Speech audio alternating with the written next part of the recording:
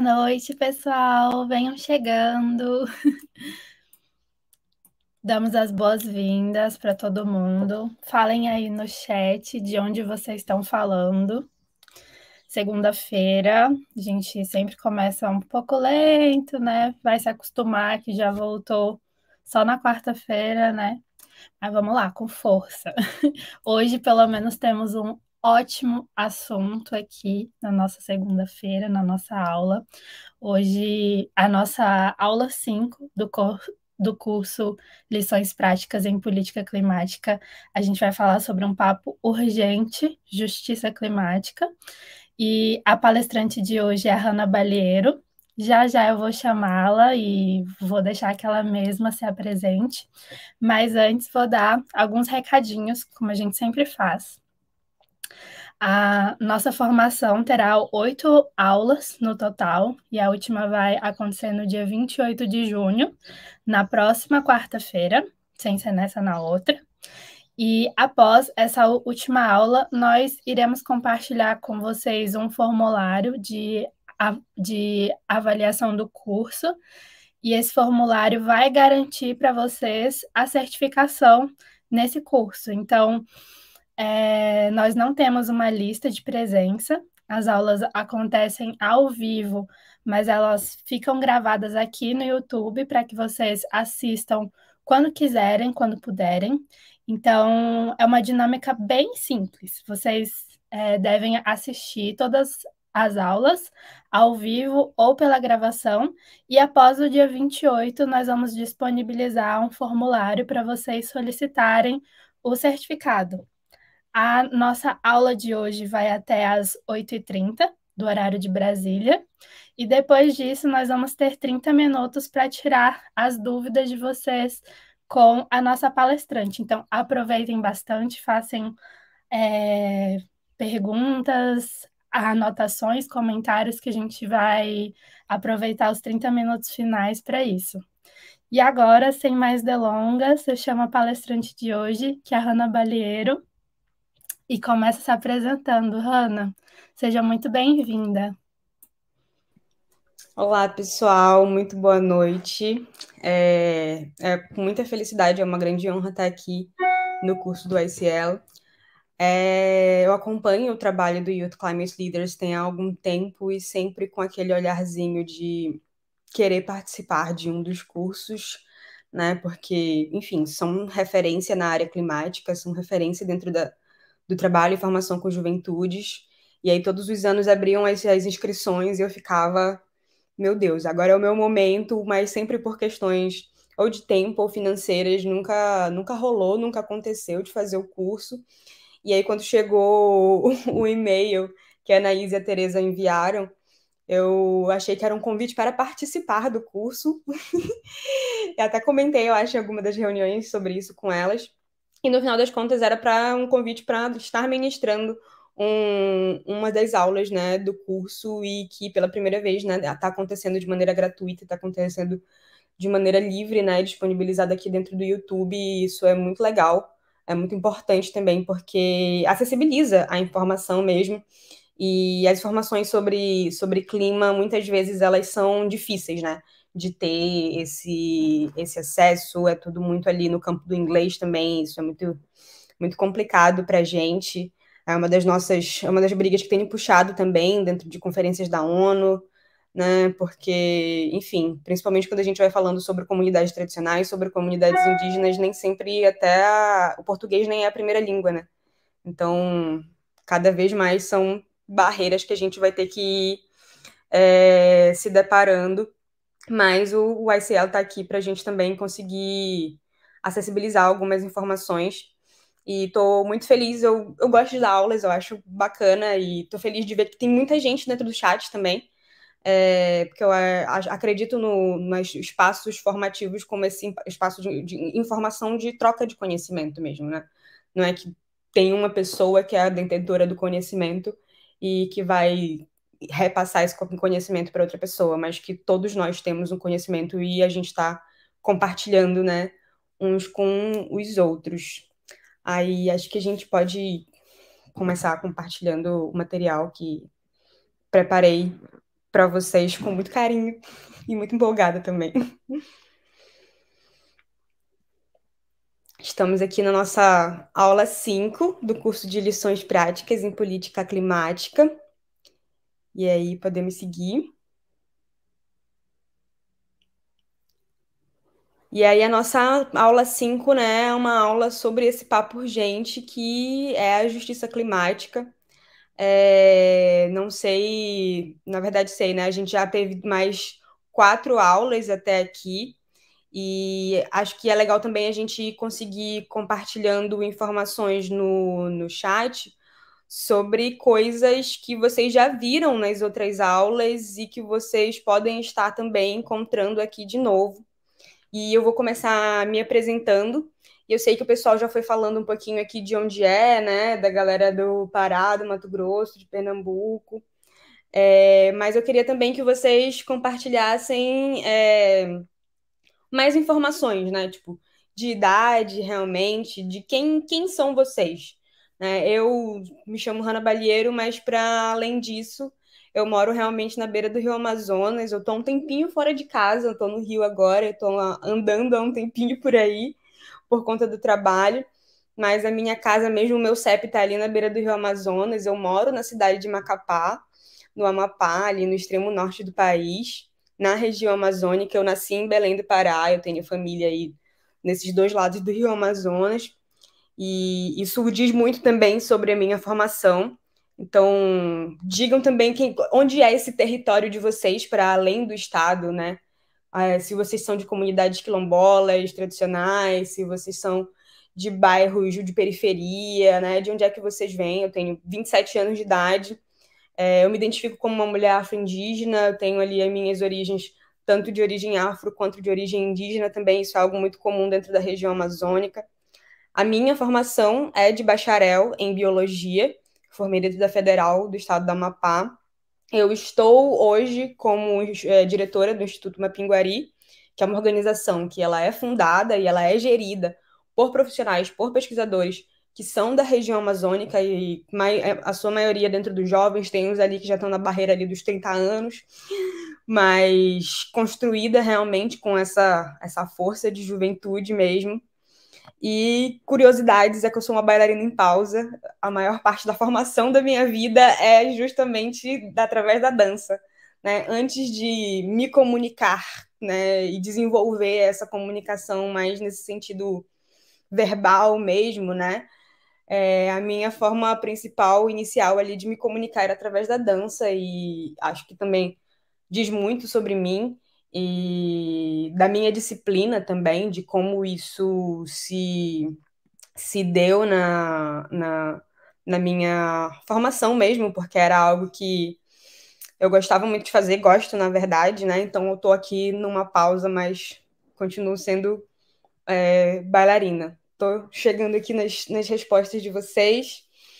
Duda, é, com 23 anos, do direito, consultora ambiental, comunidade tradicional de pescadores, muito legal. Milagres e Alagoas.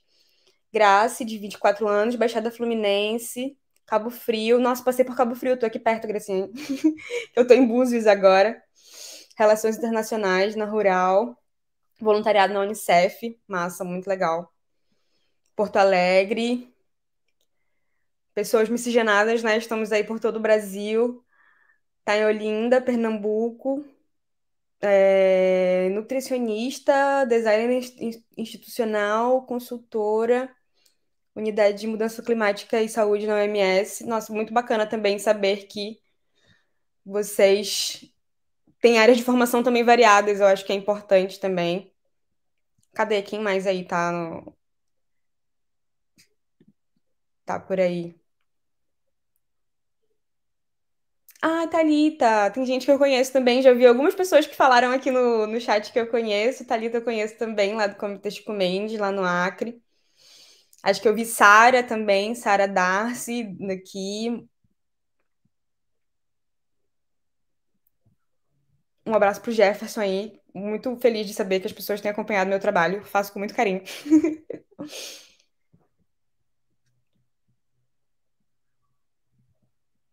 Acho que a gente pode ir seguindo também conforme as pessoas vão colocando aí as suas apresentações, apresentações. E aí, de primeiro, a gente quer, quero começar realmente do começo. E aí, já perguntando também aqui se vocês escutam Baiana System. Eu sou uma fã de Baiana System. e quando eu estava montando a aula, a primeira coisa que fica ressoando na minha cabeça, as músicas ficam é, ressoando na minha cabeça e ficou sul-americano. E aí, quem, quem curte aí Baiana System, diz aí no, no chat, por favor. Porque fala, é uma música que fala sobre justiça, é uma música que fala sobre América Latina, né? Sobre, sobre liberdade também, né? Fala que conhece a liberdade sem olhar no dicionário e traçando vários planos para poder contra-atacar. É... E aí, enfim, acho que a gente sempre está ligado à arte de alguma forma, e eu gostaria que vocês me respondessem no chat o que, que é justiça, por favor.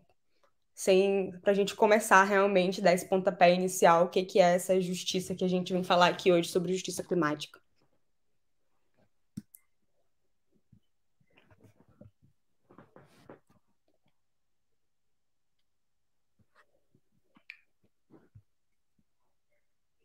Amo que o time do Youth Climate Leaders está me dando esse apoio aqui no chat, gente. Valeu.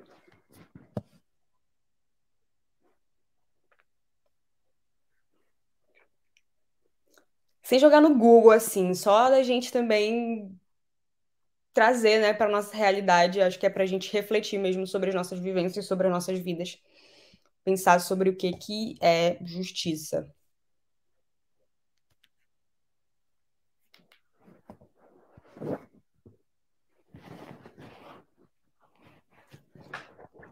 A Bia Chaber falou sobre fazer valer os direitos humanos.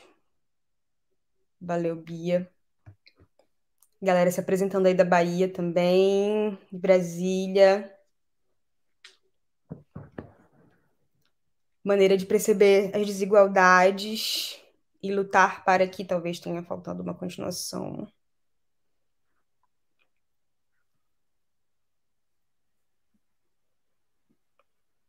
Patrícia falou que igualdade é justiça.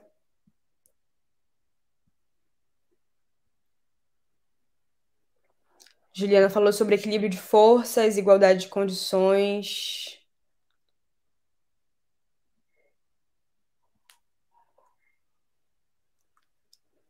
Galera de origem está chegando também.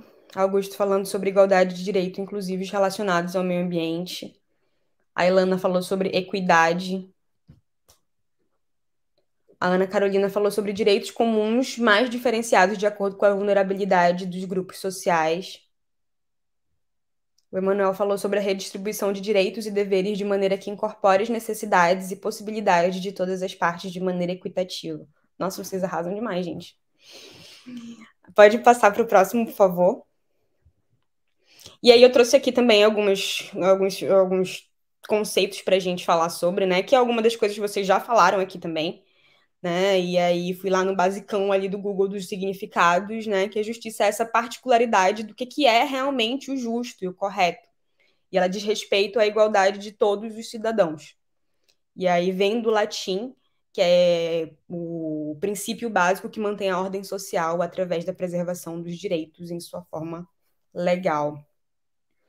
É, e no próximo tem, inclusive, o termo que realmente está no Jus Brasil, né, que vem falar do que é justo e o que é correto, e que a justiça deve buscar a igualdade entre todos os cidadãos que convivam em um mesmo grupo, com respeito uh, a todos da mesma forma perante as suas leis e oferecer a todos as iguais garantias.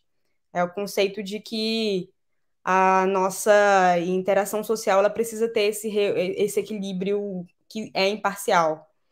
Aí eu queria também fazer essa provocação aqui com vocês de se a gente realmente encontra a nossa justiça com facilidade a nível de Brasil, né? Também refletir sobre a nossa vida e sobre o nosso país. Vocês têm encontrado a justiça por aí, que geralmente vem na, naquela figura da, da estátua, que geralmente está com os olhos vendados e com a balança, né, para demonstrar justamente que é, a justiça, como diz na música do sul-americano, a justiça é cega, que ela indistintamente ela está aí para todos sem olhar a quem. Né? Ela vai ser cumprida independente de quem seja.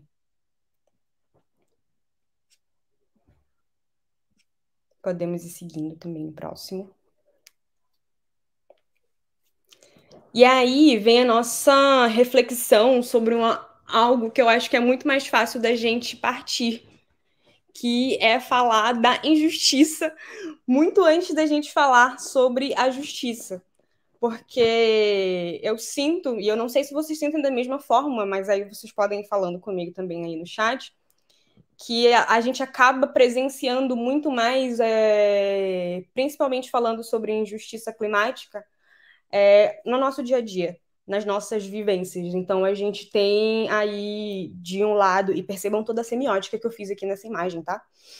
Que com os países do norte global, de um lado, tá aí do lado esquerdo da tela de vocês, que historicamente são os países que colonizaram, são os países que se desenvolveram de maneira a indústrias mesmo. Eu estou com questões com a palavra desenvolvimento nesses últimos tempos, mas que investiram fortemente nas suas indústrias, que investiram fortemente também em desmatamento, né? E aí, como países do norte global, a gente tem ali dentro daquele mapa é, os Estados Unidos, os países da Europa, né, que são caracterizados de uma maneira econômica diferente dos países do sul global, que é onde nós estamos agora, que é a nível de Brasil.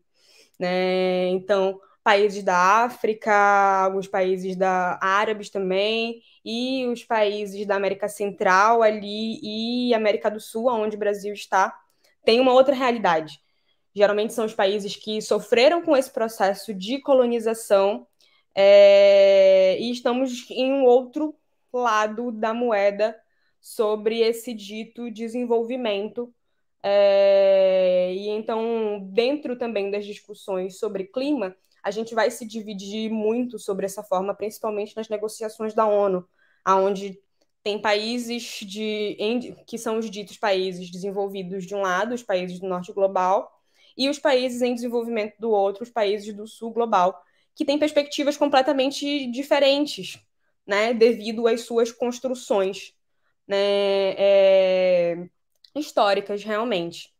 E aí vem países do sul global com, com dificuldades, aí a gente precisa vir falar principalmente sobre desigualdades.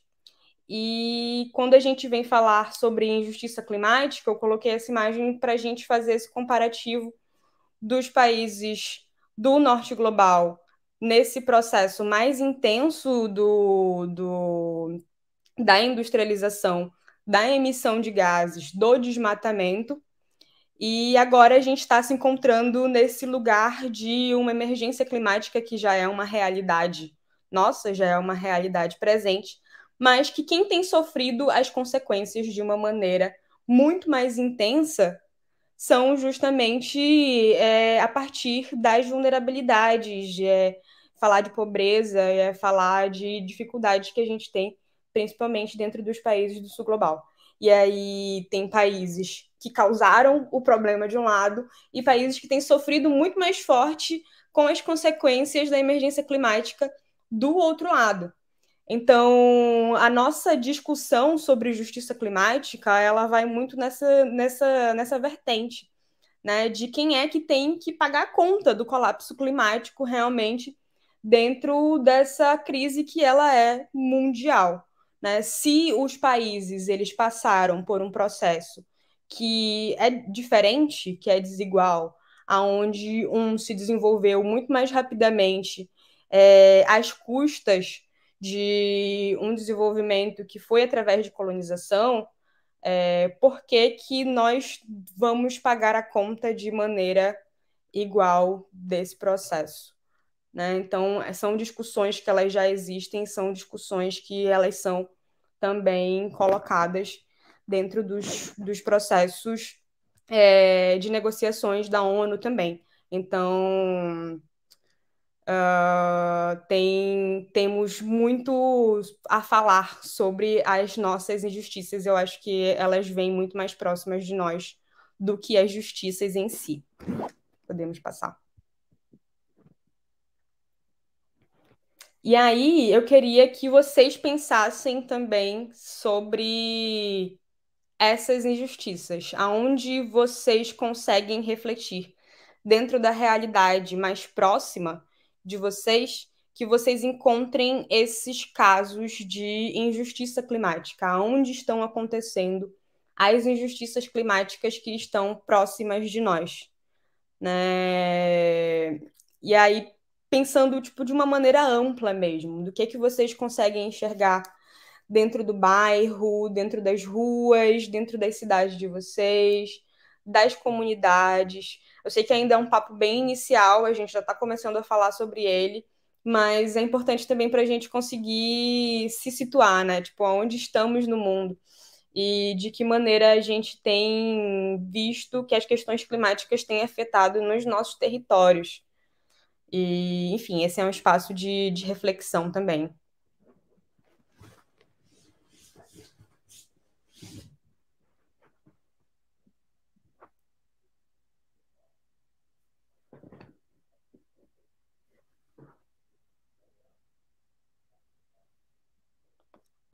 Aí eu acho que enquanto a gente vai também é, pensando sobre esses casos dentro dos nossos territórios, e aí a Ilana já começou falando sobre os deslizamentos né, de barreiras em Recife Olinda em função das chuvas. É, vamos deixar também rodando um vídeo que ele é um vídeo do CIPEZIM, que é um centro de pesquisas, e ele vem falar mesmo sobre questões de urbanidades mesmo, das cidades, né?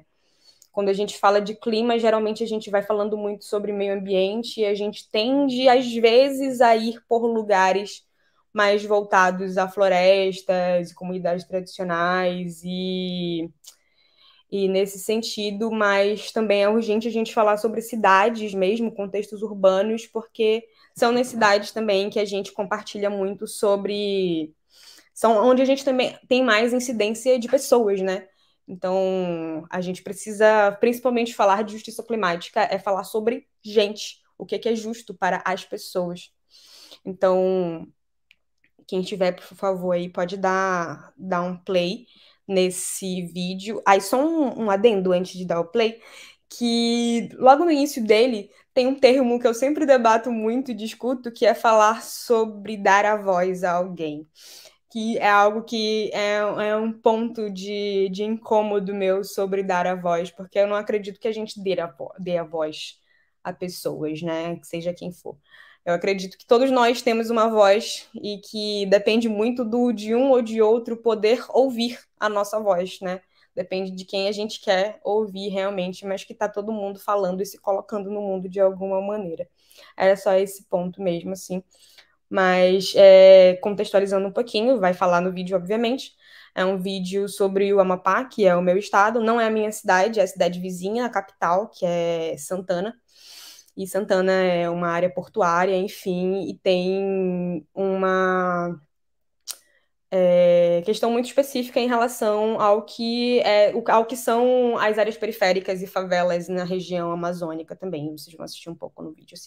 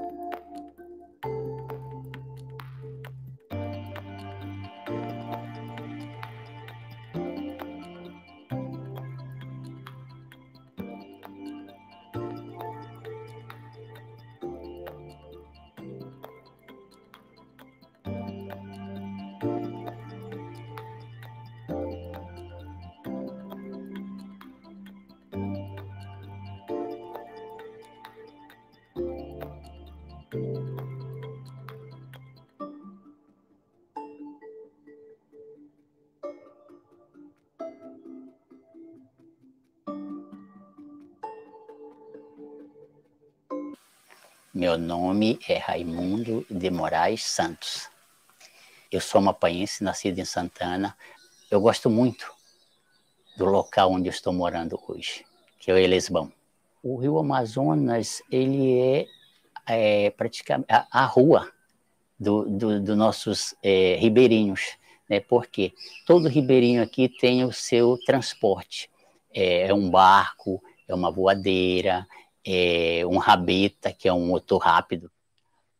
A fonte de renda da, do, do bairro de Lisbão, ele passa pela construção naval, onde nós temos seis estaleiros que constroem é, embarcações. O primeiro que usufrui, que tem a sua renda, é o fornecedor da matéria-prima, que é a madeira. Depois nós temos a construção dos barcos nos estaleiros, que eles contratam o carpinteiro naval, é, contratam o, o, o, pintor, o calafate, que calafeta o, o, barco, né? Temos o, o, cidadão que, se eu não me engano, é funileiro, o nome dele, que faz a coberta da tolda do barco com um, um, um zinco. E daí aí está a maior geração de renda do Elesbão. E temos os comércios. Né? Nós temos aqui no Elesbão mais ou menos cinco comércios que têm a geração de renda, é, que eles empregam uma ou duas pessoas nos seus comércios. A outra geração de renda que tem é que as pessoas só que é temporário. Da pesca, eles vão ao, ao, aos rios pescar, lançar suas redes para que capture é, essencialmente a dourada, né? filhote, né? são os peixes que eles capturam. E perto, bem próximo daqui, eles pegam é, pescada, aracu, sarda, né? Isso eles vendem ao final da tarde eles têm ali dois, três quilos para vender. Mas isso não quer dizer uma geração de renda, é alguma coisa que complementa a vida deles. E outros trabalham com açaí. Nós temos bastante batedeira de açaí aqui, mas é tudo família. É na família que gira em torno de uma batedeira de açaí. É a família, então, mas é a renda da família. É uma batedeira de açaí. Essa é a grandiosidade das águas do rio Amazonas em benefício da comunidade do Elesbão. O ambiente transmite uma paz, uma tranquilidade. A gente sabe que tem as situações desagradáveis, mas quem faz o ambiente somos nós, né, onde nós vivemos. E para mim tem sido assim de grande valia eu comecei a fazer trabalho aqui no meu bairro. Quando eu cheguei, eu já vinha de serviços sociais. Quando você chega em algum lugar, você não vai ficar quieto, acomodado. Você quer e você vê um espaço que tem para fazer um trabalho. Foi o que aconteceu comigo. Eu fui verificando coisas que era necessário. Primeiro, eu consegui é, fazer um pequeno campinho de futebol. Começou por esse campinho e as pessoas foram vendo que eu tinha interesse em ajudar é, a fazer alguma coisa pelo bairro. Foi quando é, me convidaram para ser presidente do bairro. O nome da associação do Lisbão é Associação de Moradores do Bairro do Lisbão, que a sigla é AMOBEL. Ela funciona da seguinte forma: é, se elege é, uma, uma diretoria, no caso, presidente, vice-secretário, né, tesoureiro, é, diretor é, de, de eventos, é, coordenador de trabalho para com as mulheres. Só que a dificuldade ou a facilidade é que as pessoas desistem muito rápido das funções a qual elas foram é, incumbida de, de desenvolver o trabalho. Então, tudo fica é, em torno do presidente do bairro. O maior desafio de ser um líder é ter coragem, ser determinado e gostar de fazer as coisas benéficas à comunidade. Isso só para quem tem assim essa sensibilidade de buscar solução para os problemas de uma comunidade. Por quê? Você resolver o problema de uma pessoa é muito fácil. Agora, resolver o problema de uma comunidade, no caso do, no, do meu bairro, que tem mais ou menos umas 4 mil pessoas, aí é que está a determinação de um líder, que ele vai, sem medo, de buscar solução para todos, no sentido de que ele sabe que só com o empenho dele poderá é, conseguir melhoria para o bairro. A dificuldade ela é estrutural, né? Por exemplo, é, o, o sistema energético é, é muito é, comprometido, é muito, é, é, é, muito difícil a situação da energia aqui, pelo fato de que não tem ainda um, um sistema é, bom, né? Nós temos alguns problemas aqui, até quando chovem, é, é, tem problemas é, na estrada que cai árvore, né? A gente fica aí quatro, cinco horas sem energia. É, o outro problema é a água, né? Um problema seríssimo. E nós temos duzentas e poucas residências aqui que não tem água tratada, né? É pego água nos igarapé ou lá no rio, viver em frente ao Rio Amazônica é maravilhoso.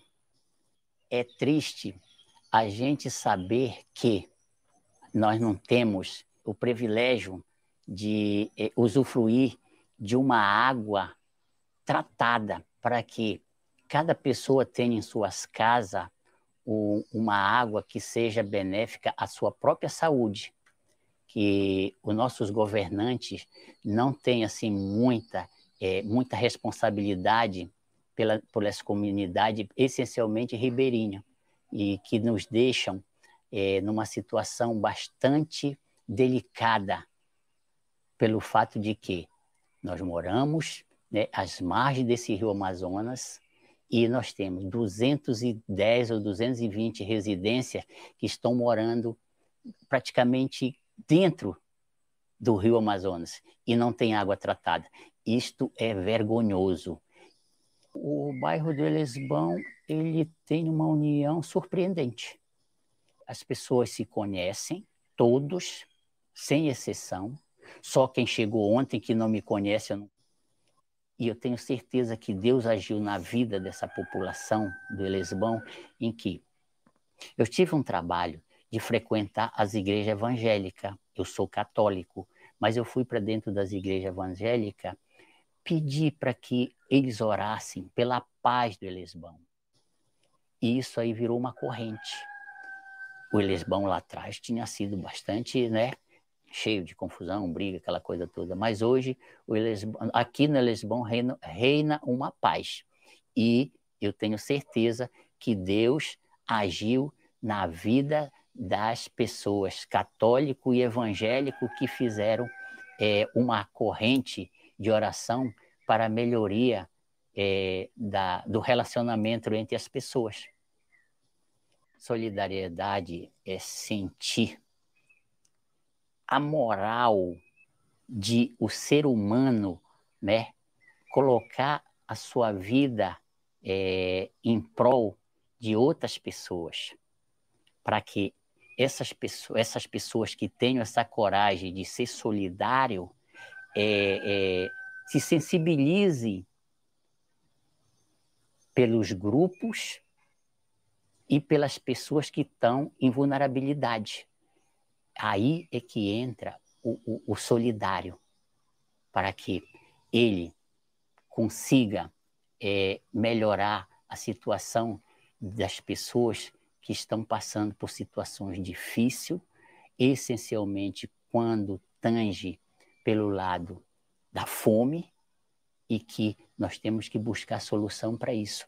É, pode ser com empresário, pode ser com amigos, pode ser com as igrejas, para que a gente possa fazer com que essas pessoas melhorem um pouquinho de vida. Só que tudo isso é temporário. o, o fundamental de tudo da solidariedade é você buscar junto é, os empreendimentos um emprego para aquela pessoa que está passando por aquela necessidade e está sendo oprimido pela situação de que olhar na sua casa e não ter o seu pão de cada dia é de chorar. Trabalhar de coração é praticamente você não se anular, mas é não pensar em si próprio, pensar no seu próximo, pensar em buscar solução para problemas de alguém que está numa situação bastante delicada. Pode ser na saúde, pode ser no lado financeiro, pode ser na doença e que só um, gente com coração de mãe que pode ter essa sensibilidade de se sensibilizar pelo problema do seu próximo. Mas isso precisa que Deus esteja habitando nesses corações, que esses corações pertencem a Ele. É onde Ele habita, é onde Ele faz com que nós nos tornemos umas pessoas sensíveis, sensíveis às necessidades do nosso próximo. É preciso ter em mente que nós somos instrumentos e que nós podemos é, ser esse elo público e sociedade. Mas para isso é necessário que você tenha um coração é, sensível, um coração voltado exclusivamente para o meio que você vive. Às vezes pode ser uma palavra de conforto, às vezes pode ser um bate-papo, uma orientação, mas eu sempre digo às pessoas que vocês têm que fazer duas coisas que é de primordial a, a nos melhorar a nossa vida e a vida de todos. O estudo dos filhos de vocês. educação é de fundamental importância é o que vai fazer com que vocês, os filhos de vocês, sejam alguma coisa na vida. E a outra é Deus. Busque Deus, coloque Deus em tudo que você vai fazer, coloque ele em primeiro plano. Porque colocando ele em primeiro plano, as coisas não podem dar errado de jeito nenhum. Sempre vai dar certo.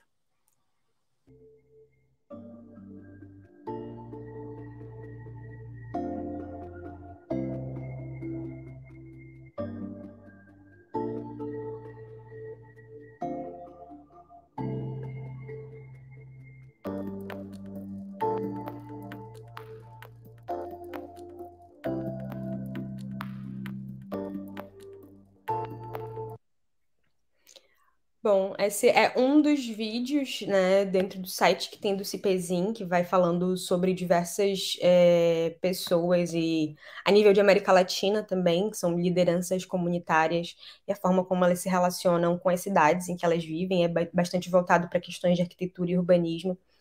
É, essa referência, ela vai estar tá em uma lista de referências que vai depois ficar no Aonde vai ficar, gente? Acho que vai ficar na descrição do vídeo, é, que vão ter todas as referências de tudo que eu for conversando aqui, falando sobre vocês, e tem várias coisas. E vale a pena dar depois uma aprofundada, né? E aí vai desde a cidade do México, enfim, vai fazendo um grande, uma grande viagem, assim, em diversas cidades e pessoas de lideranças comunitárias que estão aí em busca de qualidade de vida, realmente, para as suas comunidades. E aí queria que a gente pensasse um pouco também, depois de ter assistido esse vídeo, de entender como que a emergência climática acaba afetando uma comunidade como a do Elesbão, por exemplo, né? E aí é um caso dentre diversos outros que vocês já citaram aqui, mas aí a gente foi vendo é, questões no vídeos que vão desde acesso à água, né, a um saneamento básico de qualidade, são 4 mil pessoas né, no, no, dentro dessa comunidade, é como se fosse uma cidade inteira vivendo sobre as águas e É, a gente tem outras referências e tem outros exemplos de cidades inteiras que são sobre é, as águas dentro da região amazônica e de que maneira a emergência climática afeta pessoas com contextos urbanos mais específicos, né? Então, a gente teve aqui pessoas que falaram sobre as comunidades indígenas de morando na cidade e tudo mais, é, comunidades que são impactadas por grandes empreendimentos, como refinarias. A Sara falou beijo, Sara. é, que de grandes empreendimentos que não respeitam as legislações ambientais. É, as áreas de encostas também, né, são uma, é, um outro cenário geográfico muito específico, isso que sofrem muito com a emergência climática, é, com deslizamentos, né, a partir das fortes chuvas. E aí, nesse contexto de fortes chuvas também, o que, que aconteceria, o que, que acontece, na verdade, com comunidades como a do Elesbão, é, nesse contexto de fortes chuvas, e aí a gente está dentro de um período agora que chove bastante também é, na, na região do Amapá, né, que tem um aumento do nível dos rios e sofre também essa influência de marés, é, e que está ali também relacionada a doenças que estão relacionadas à contaminação das águas, à falta de saneamento básico. Né? Então, é todo um contexto de comunidades que estão muito mais vulneráveis às mudanças climáticas, como, por exemplo, outras cidades que estão é, em um cenário do norte global e que são os países que, têm, que mais contribuíram historicamente com o processo da emergência climática, que mais emitiram gases de efeito estufa e que não são os mesmos que sofrem os efeitos como as comunidades em que a maioria de nós vive e mora dentro de comunidades indígenas. É, e as injustiças climáticas, por isso que eu digo que as injustiças climáticas elas acabam estando muito mais próximas de nós do que falar sobre a justiça climática em si. Pode passar para o próximo, por favor.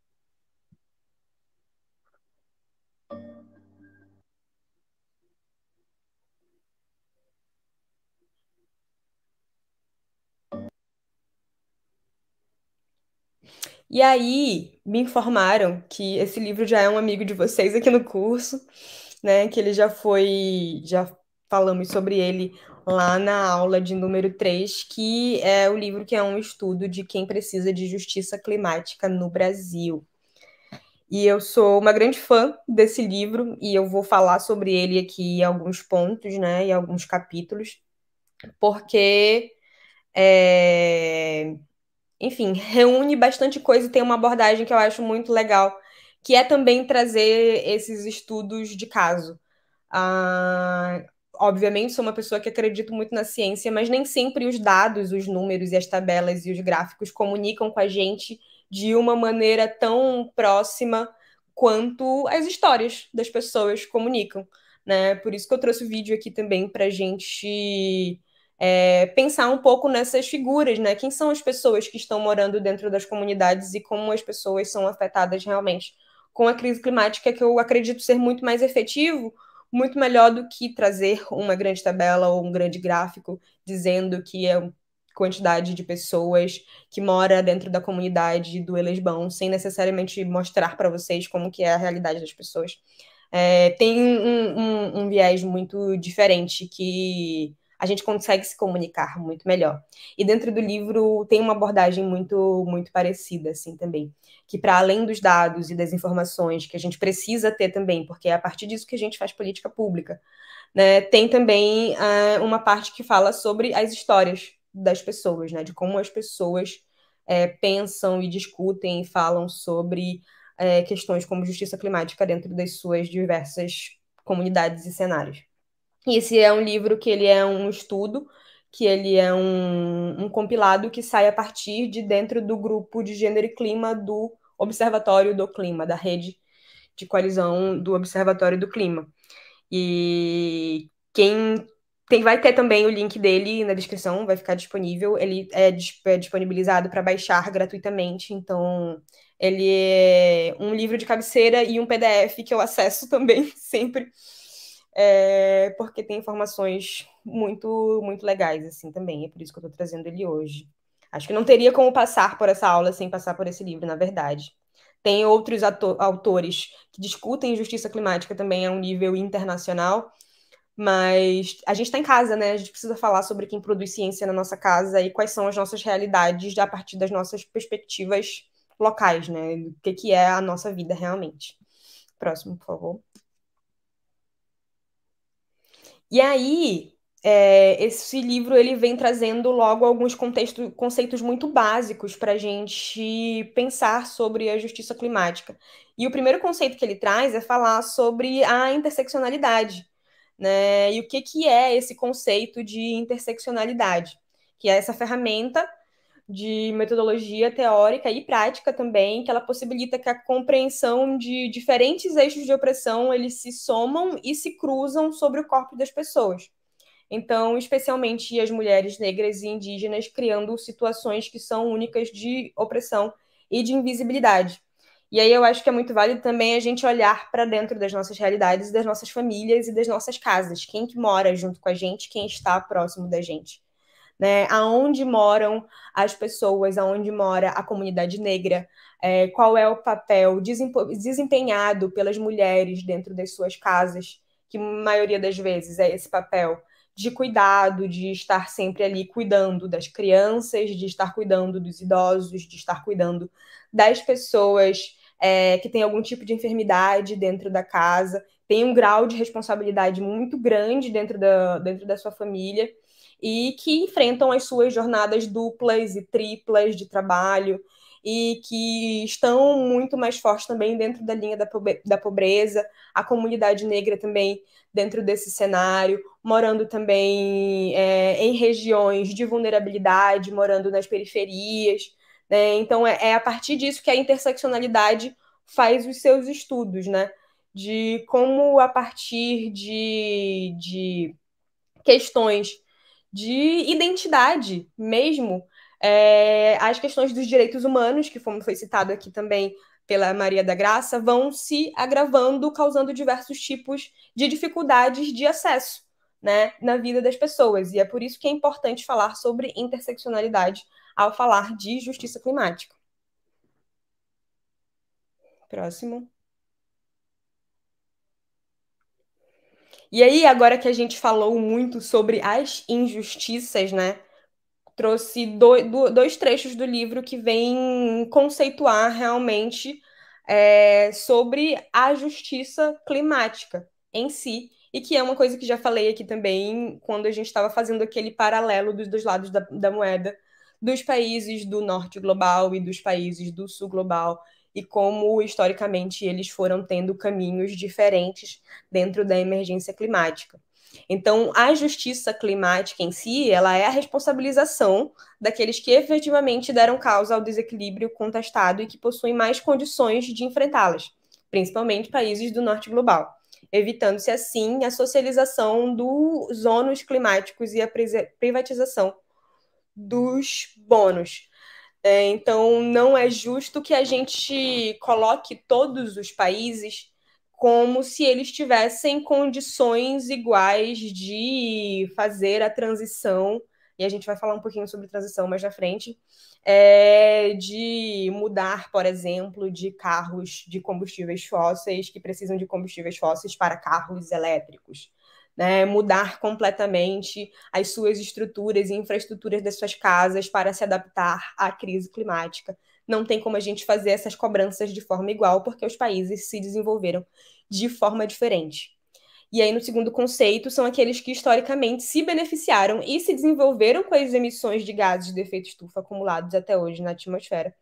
É, não podem compartilhar com os demais a responsabilidade pelos prejuízos e impactos das mudanças climáticas. Então, seria muito fácil cobrar que os países do sul global façam essa, essa mudança de uma maneira para outra, sem ter as mesmas condições de fazer realmente.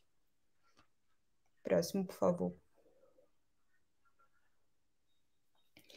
E aí, como eu estava compartilhando com vocês sobre como é estruturado o livro, dentro do capítulo 3 vão trazendo histórias mais é, de, de lideranças comunitárias, assim como no vídeo também que eu compartilhei com vocês, é, sobre diversos contextos diferentes a nível de Brasil. Eu trouxe aqui alguns dois contextos voltados para um cenário mais não urbano. A gente discutiu aqui sobre alguns cenários urbanos, mas também dentro do cenário não urbano é importante da gente é, entender como as coisas vêm funcionando.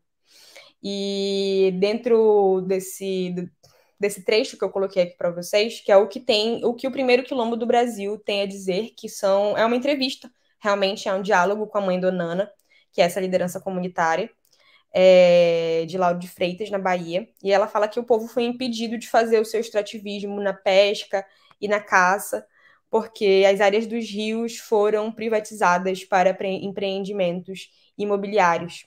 E eu acho que mais alguma outra pessoa também falou sobre questões de grandes empreendimentos e de diferenças de, de acesso realmente, né, a, a, a espaços, a produção de alimentos. Dentro do vídeo a gente viu também um, um pouco sobre isso. E é importante falar sempre, quando se fala sobre justiça climática, como esses impactos da emergência climática chegam primeiro nas comunidades que estão nesse contato muito mais próximo com o que é natural, de meio ambiente. É, quando a mãe do Nana fala sobre pesca, fala sobre extrativismo, é importante a gente traçar esse cenário de mudanças climáticas relacionando a pesca, a caça, ao extrativismo.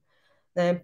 Que se a gente tem uma mudança nos regimes de chuvas, a gente tem uma mudança na, no tempo de cada uma das estações do ano, é, é quem está plantando, é quem está colhendo, é quem está caçando que vai saber quando isso aconteceu logo de primeiro impacto. E é por isso que a gente fala sobre comunidades tradicionais como linhas de frente nas mudanças climáticas, porque são as comunidades que estão mais próximas dessa variabilidade do clima. Né? Então, se você é acostumado a plantar uma roça em sempre em determinado período do ano, você sabe quando que é o tempo de plantar e você sabe quando é o tempo de fazer a colheita. É, então, se existe alguma variabilidade nesse período, isso impacta diretamente a sua produção. Se impacta diretamente a sua produção, impacta diretamente a sua renda e impacta diretamente a comida que você põe na mesa todos os dias na sua família. Né? No vídeo, o, é, a gente teve também a liderança falando sobre a complementação com a pesca, né, na, na renda das comunidades. Então, se existe até mesmo uma mudança no período reprodutivo dos peixes, que também passa por um contexto todo de, de precisar de uma temperatura específica para que os animais se reproduzam, e aí sim as pessoas poderem é, pescar, as pessoas poderem caçar também os outros, é, algum outro tipo de, de animal, é, faz falta dentro do seu prato, da sua casa, né? Faz falta nas feiras, né? Quem é que está podendo fazer compras nas feiras? Quem é que está produzindo? Quem é que está levando para as feiras? Quem é que está plantando? Quem é que está colhendo?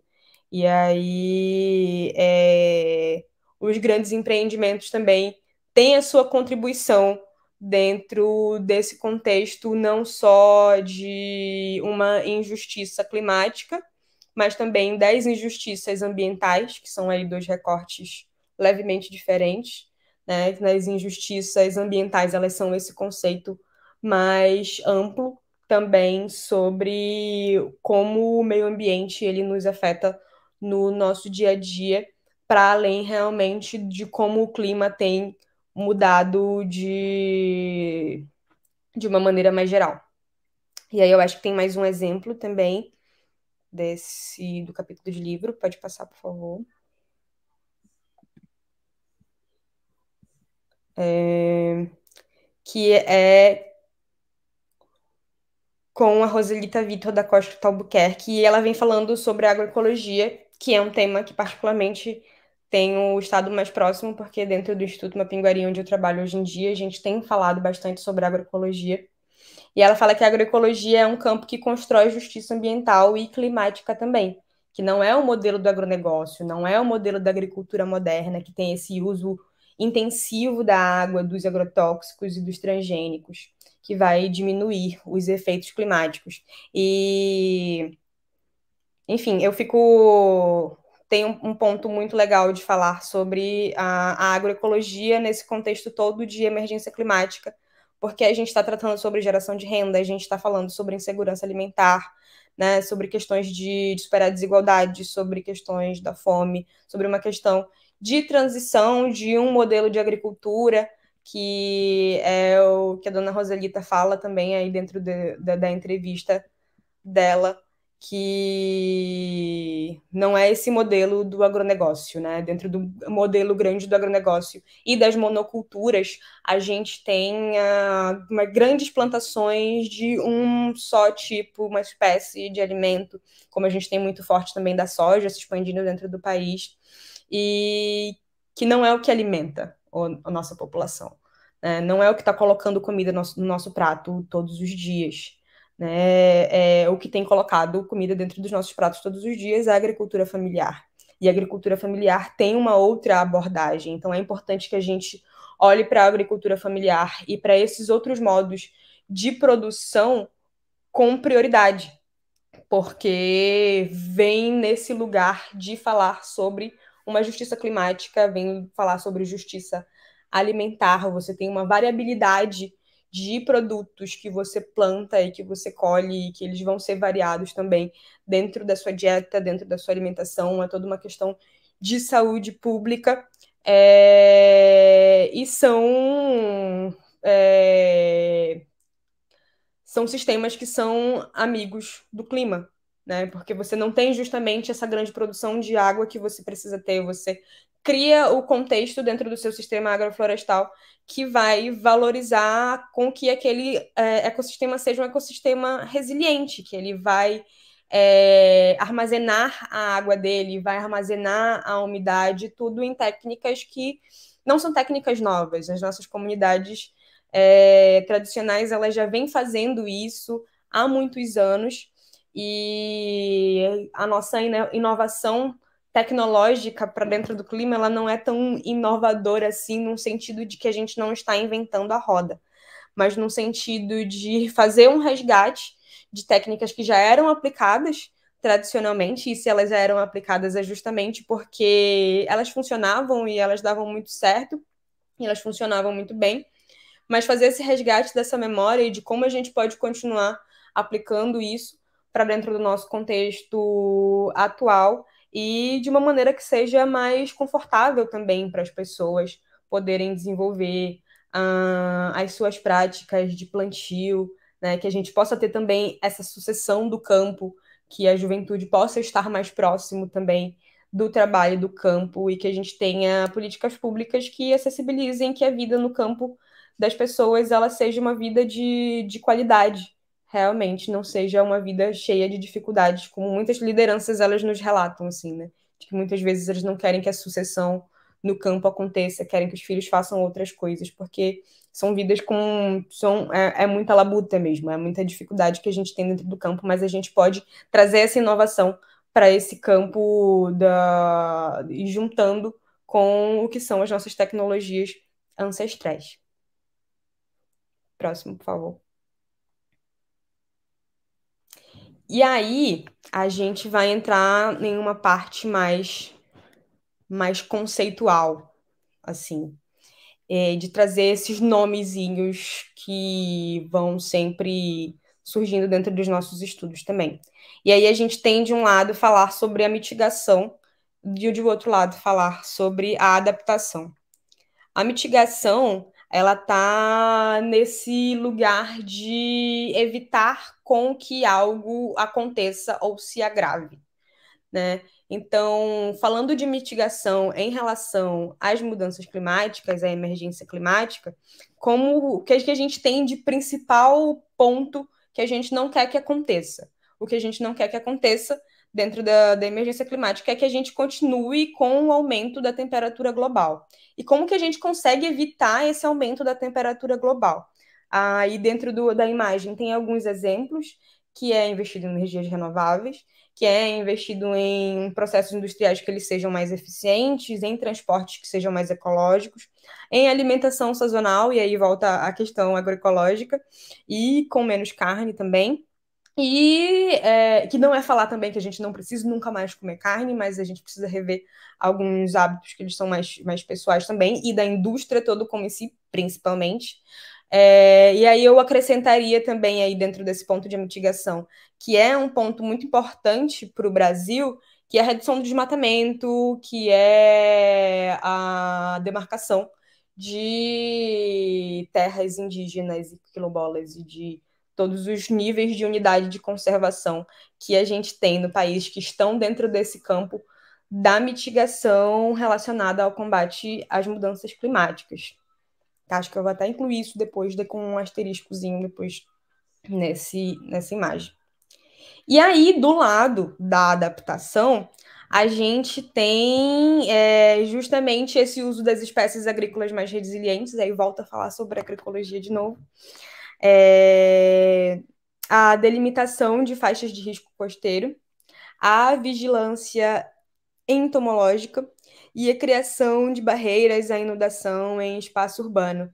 Então, a gente tem, de um lado, falar sobre mitigação, que é falar de coisas que a gente pode é, ainda fazer para evitar esse, essa subida do, da temperatura global.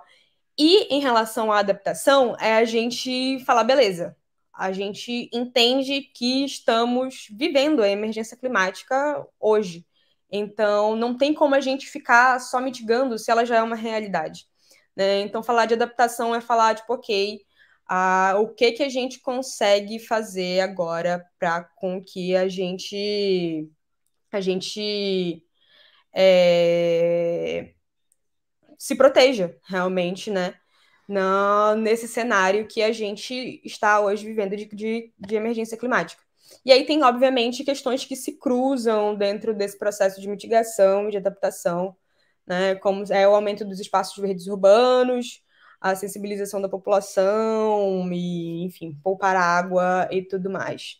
E aqui eu queria colocar só um adendo muito importante, que vai para além de questões individuais, que é a gente pensar em questões mais estruturantes mesmo, não dizendo que não é importante que a gente não precise rever as nossas as nossas ações individuais. É claro que nossas ações individuais elas são muito importantes, mas para que as nossas ações individuais ela tenham uma maior efetividade em questão de escala, é importante que a gente pense nas políticas públicas que envolvam os processos de mitigação e de adaptação para nossa realidade. A Ana Carolina fez uma pergunta aqui dicas de para sensibilizar a parcela da população que não se sente é, afetada pela crise climática, pois é justamente o que tem mais responsabilidade de agir por contribuir mais.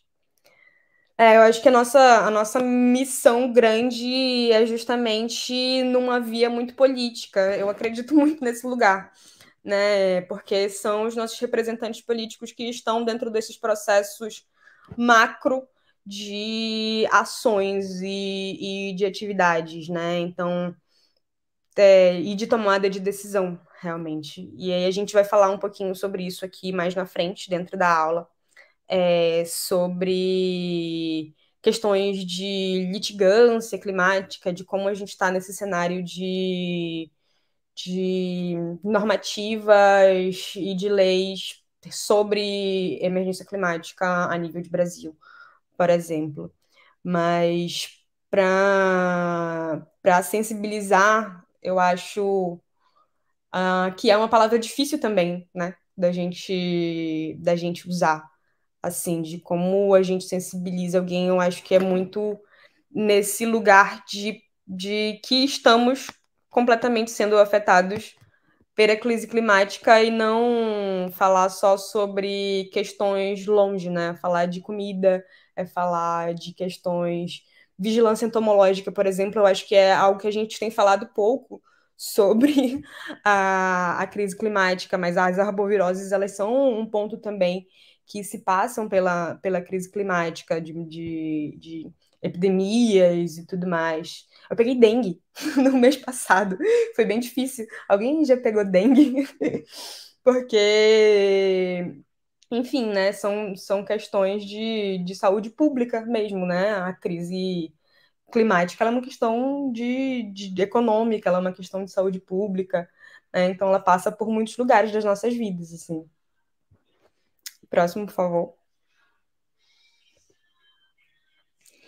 E aí, para a gente continuar seguindo esse papo sobre adaptação, né? Do que, que é essa adaptação. Ela se refere a esses ajustes nesses sistemas ecológicos que são sociais ou econômicos em resposta a estímulos climáticos reais ou esperados e seus efeitos. Ela se refere a essa mudança de processos, práticas e estruturas para moderar danos potenciais ou para se beneficiar de oportunidades associadas às mudanças climáticas. Esse é um conceito que eu tirei direto do, do site da UNFCCC e UNFCCC, com uma galera falando inglês também, né, que é o painel intergovernamental de mudanças climáticas da ONU, que provavelmente vocês já devem ter ouvido falar por aqui, dentro das aulas e em alguns outros lugares também, estudando, que é esse lugar da ONU específico em que a gente fala sobre clima e se negociam todas as questões globais sobre. A Juliana fez uma outra pergunta, que é quais são as ações que os jovens brasileiros podem engajar para mudar este cenário do país de injustiça climática? O que podemos fazer de mais significativo e o que é mais urgente atualmente? Hum... Ah, deixa eu perguntar para os meninos, porque a gente vai ter também a parte de perguntas no final, né? E aí, se eu sigo ou se eu vou respondendo as perguntas. Eu acho que a gente vai segurando as perguntas. Acho que as meninas do ICL estão estão guardando as perguntinhas aqui para mim. A Tereza falou aqui para mim no, no off que, que vão segurando as perguntas e que volta no final com as perguntas. Beleza, só pra gente não se perder também aqui no, nos raciocínios. Mas podem mandando as perguntas, viu, gente? É... E aí, enfim, né? Tipo, esse, o papo sobre adaptação é realmente a gente é, entender que não tem só como a gente mitigar, já que a gente está com, com essa subida aí da temperatura global, então mitigar já não é mais só o suficiente, e que existem um, existe uma parcela muito grande da população mundial que já está sofrendo com as consequências da mudança climática, e que a gente precisa fazer algo agora, a gente precisa adaptar as nossas estruturas que a gente tem existentes para que elas se tornem mais resilientes em relação às mudanças climáticas, o que não quer dizer que a gente vai só ficar enxugando gelo. É, e aí, não sei se eu faço esse comentário agora ou mais na frente, mas vou fazer agora que ele veio na cabeça. Dentro das últimas, das últimas negociações que a gente está tendo dentro do painel intergovernamental da ONU, a gente teve um avanço nas discussões nas discussões mesmo, não vou nem dizer de efetividade, nas discussões sobre questões relacionadas à adaptação e perdas e danos, que é o que a gente vai falar um pouquinho mais na frente também. Mas a gente não tem só como falar sobre adaptação como uma maneira de jogar a toalha, assim, dizer, tipo, ah, já tá mudando mesmo, a gente tem que se voltar todo para esse tema agora. A gente precisa continuar mitigando, a gente continu precisa continuar nos processos de que a gente não tem como fazer com que a temperatura do temperatura mundial continue aumentando. Então são esforços que eles precisam ser feitos em conjunto, eles precisam estar caminhando juntos. Enquanto a gente mitiga, a gente adapta também é, e seguir nos dois esforços de maneira conjunta. Continuando.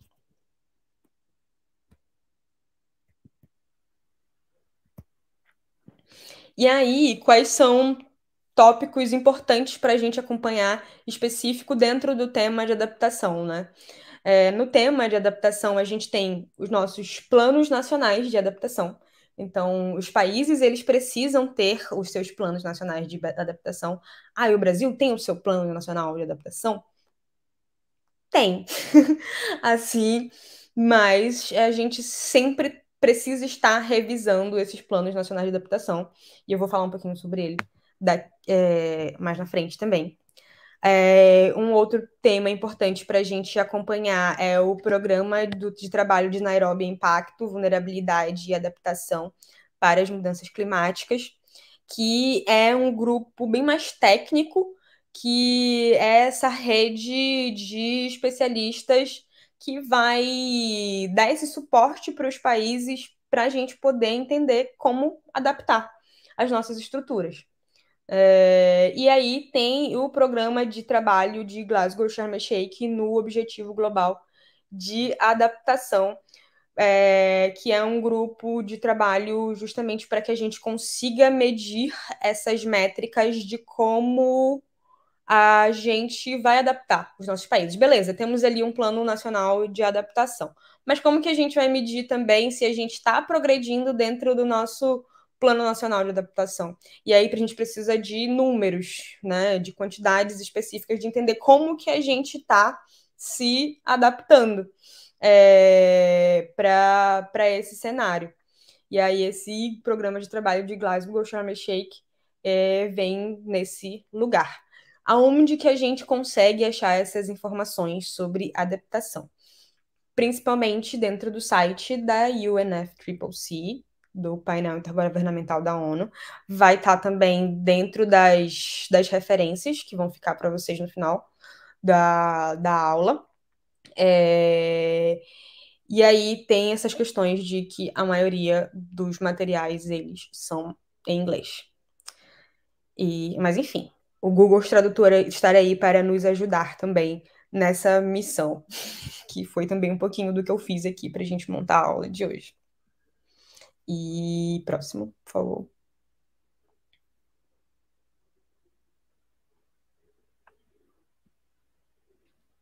E aí, ainda falando desse papo de sobre, sobre adaptação, é, eu trouxe aqui o Plano Nacional de Adaptação à Mudança do Clima. Ficou um pouquinho difícil de ver, ficou pequenininho para mim também. Mas fala sobre o, o último Plano Nacional de Adaptação do Brasil, que ele foi de 2016 a 2020. Esqueci agora, né? E aí tem a gente pode ter o acesso lá no GovBR mesmo, no MMA, vai estar também nas referências de vocês, sobre esse relatório final de como que foi medido é, esse uh, o Plano Nacional de Adaptação, né? De como ele aconteceu aí dentro desse período que ele foi executado. E aí vocês podem acessar. É um documento extenso, geralmente são coisas bem mais técnicas, e aí entender o que, que a gente tem interesse em acompanhar também dentro da área de clima é muito importante, porque geralmente é muita coisa. E a gente precisa dar uma filtrada também, mas eu fui trazendo aqui também um apanhado de várias coisas para que vocês possam também entender em que lugares a gente pode passar e o que, que tem mais interesse para vocês também. Próximo. E aí tem essas duas referências aqui que são muito importantes. Eu acho que elas são. É, é um grupo de pesquisa que é o IALETA, que eles são um grupo de pesquisadores que eles estão majoritariamente localizados na região nordeste do país e eles trazem pesquisas voltadas para esses lugares que tem um apagamento de dados e que é só com dado que se faz política pública é, das regiões norte-nordeste que são essas regiões que historicamente têm um apagamento maior de dados. A gente não tem tantos dados assim, tantas pesquisas voltadas especificamente e voltando para a realidade dessas regiões. E aí a gente vem do conceito de novo lá de interseccionalidade, que é entender quais são essas especificidades também dos lugares, uma questão mais geográfica também, para que a gente consiga pensar umas estratégias de planos de adaptação que estejam voltados para uma realidade, pensando nas vulnerabilidades do, da população do Brasil e da nossa região também. É, e aí tem esse sumário de estratégias para planos nacionais de adaptação voltados para o Brasil e é, essa nota técnica também de governança de desastres, trade-off e adaptação na região norte e nordeste do Brasil. São duas preciosidades, para além também do, de uma análise dos planos diretores e socioespaciais das capitais das cidades da Amazônia Legal, que também é um, uma delícia, assim, para quem gosta de um bom gráfico, uma boa planilha, assim, com informações muito importantes, eu, eu indico bastante é, acompanhar o trabalho do grupo de pesquisa IALETA, e eles têm ajudado, inclusive, bastante é, no, em ter dados mesmo mais embasados. Eles estavam em Bonn também acompanhando as negociações e são, são bons espaços que a gente pode também intervir dentro da nossa, dentro da política brasileira mesmo, que eu acho que é uma oportunidade que a gente tem no governo que a gente está agora. Próximo, por favor. E aí, trazendo de volta o livro de Quem Precisa de Justiça Climática no Brasil, tem um capítulo específico, que é o capítulo 2, que eles vão analisando justamente as normativas e aonde tem palavras-chave que possam estar é, alinhadas a conceitos da emergência climática e de interseccionalidade e de racismo ambiental. E eu vou tentar abrir aqui também no meu PDF para tentar enxergar melhor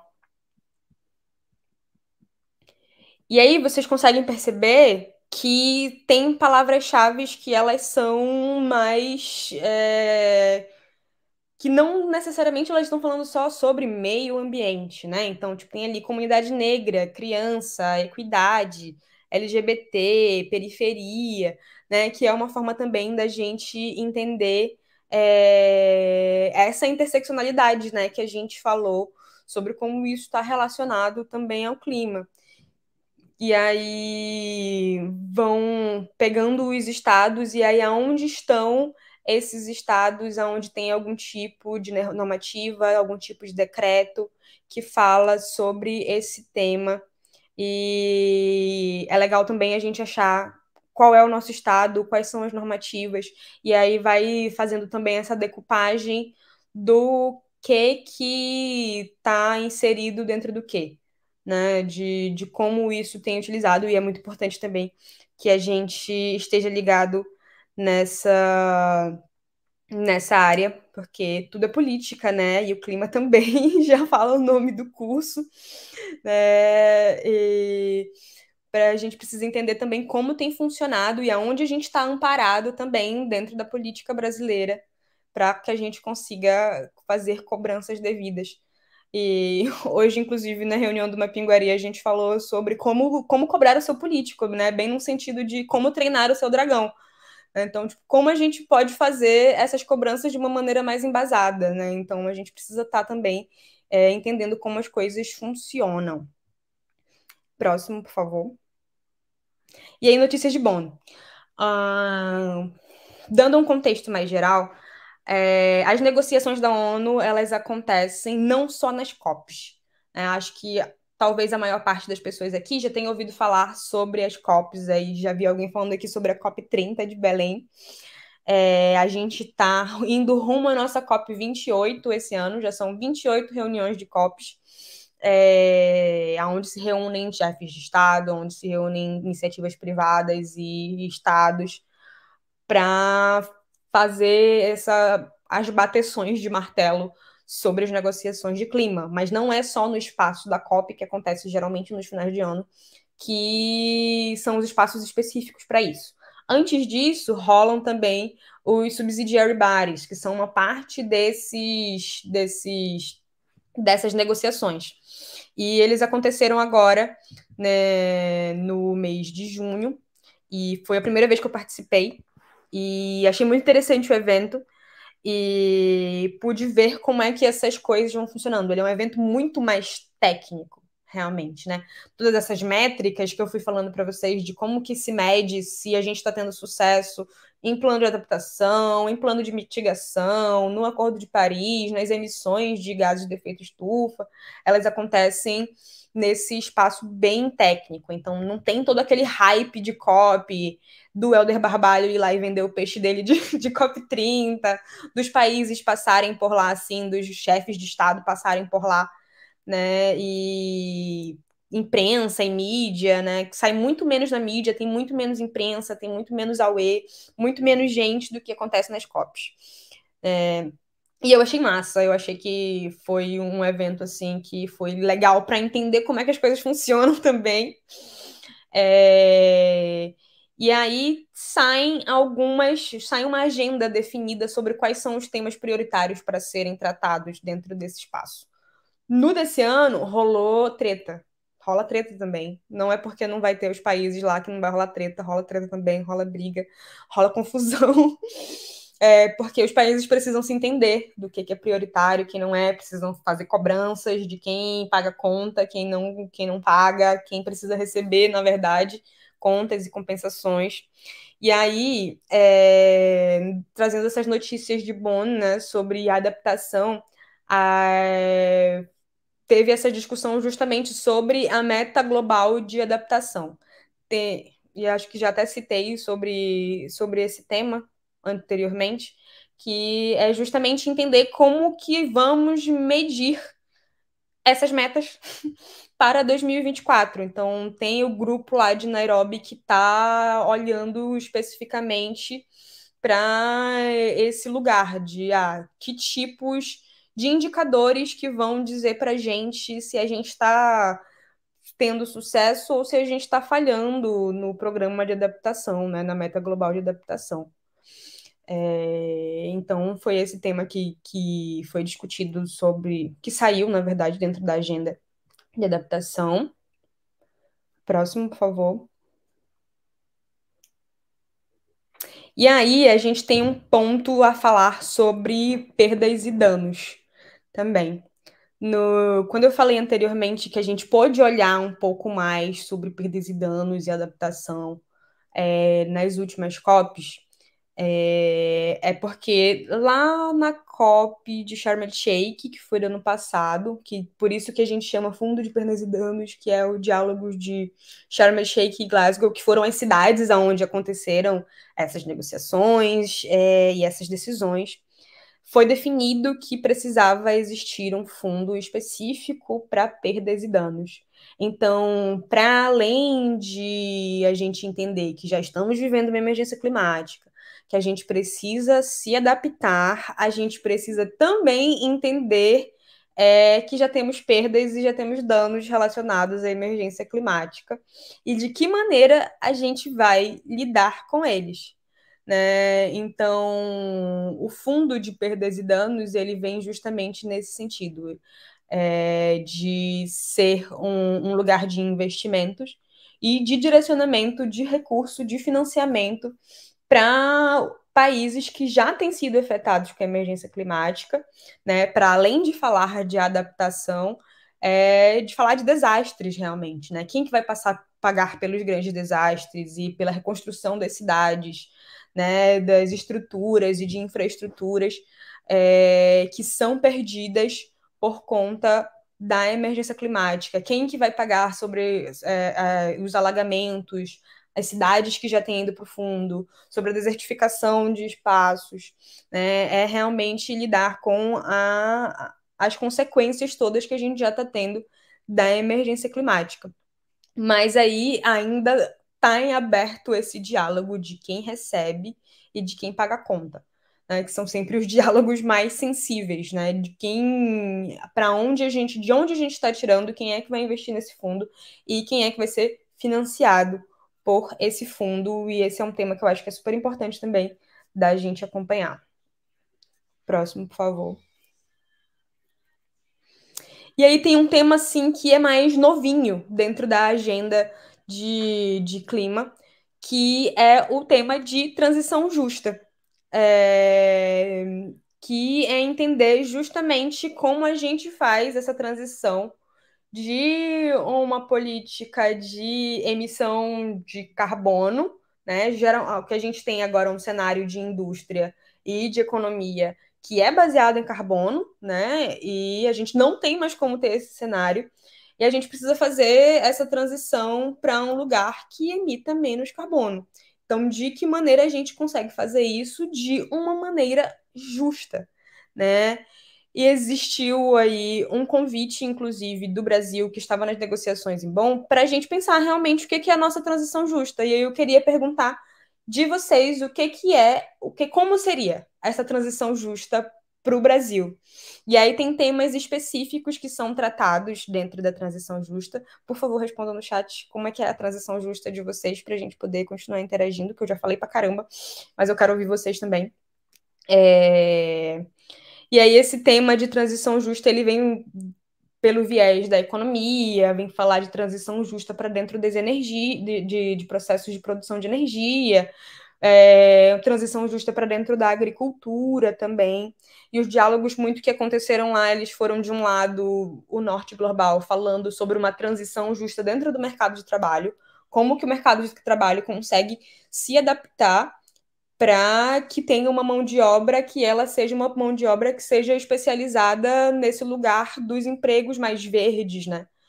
É, e do sul global, precisando lembrar, calma lá, gente, a gente ainda tem questões de desigualdades muito sérias para fazer transição, porque a gente tem, tem muita gente que não está tendo acesso à energia elétrica, é, a gente ainda tem muita gente que não está tendo acesso à alimentação, a gente ainda tem muitas vulnerabilidades dentro do nosso país, a gente precisa falar sobre isso também. É, esperando as respostas no chat sobre a transição justa. E aí, esse é um tema ainda realmente novo para dentro dos países. Existe um grupo de trabalho específico sobre transição justa e como que é, cada país vai fazer isso. Então, tem essa discussão de, beleza, a gente sabe que a gente tem que transicionar, mas como a gente transiciona? Como a gente faz isso? Quais são os fatores que a gente precisa levar em consideração? Como a gente transiciona dentro da nossa, é, da nossa energia? É a gente pegando todos os carros já existentes que têm a sua base de gasolina e combustíveis fósseis e transformar eles todos é, em carros elétricos. Seria o justo para dentro do nosso país como que seria essa transição para dentro da nossa agricultura, né? Tipo, o que, que seria essa transição para dentro da economia? Gente, cadê vocês? Todo mundo já dormiu? Esperando respostas sobre transição justa.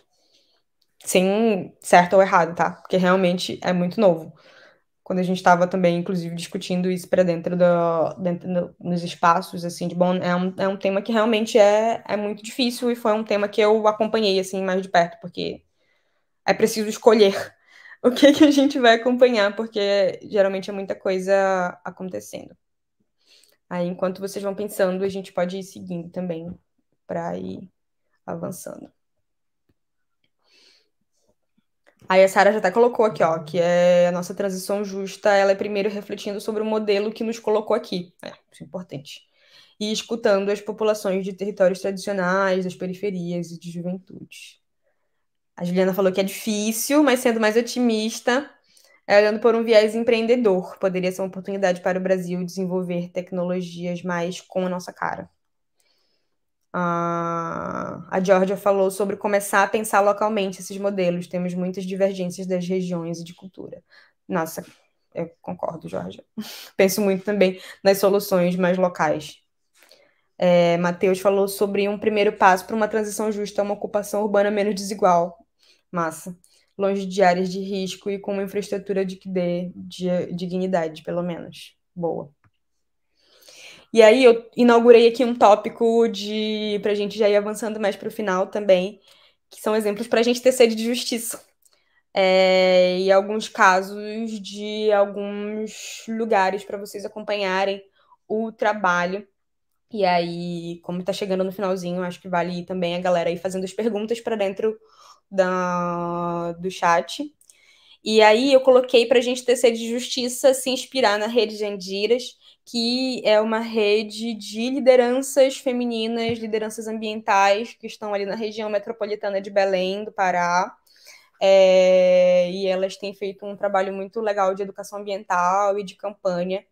O trabalho de campanha que elas têm feito agora é através do Fórum Climático.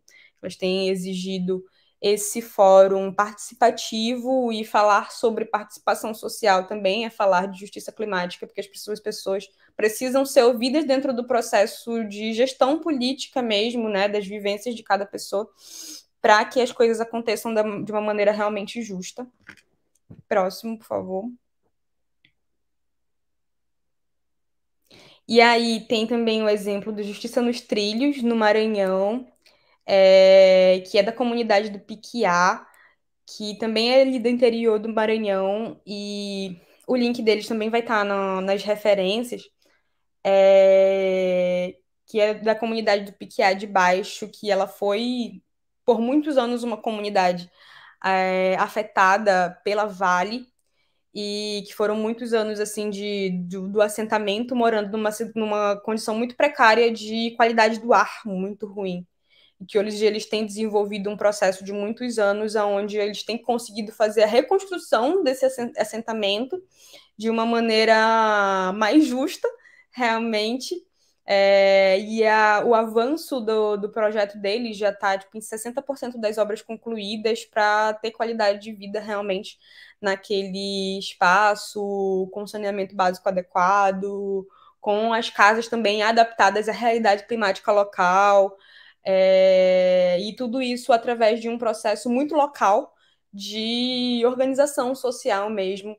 E tem sido muito massa assim acompanhar e vale a pena também conferir. Depois deem uma olhada na, na nas referências para acompanhar o trabalho tanto do Justiça dos Trilhos quanto da comunidade Pliquiá de Baixo.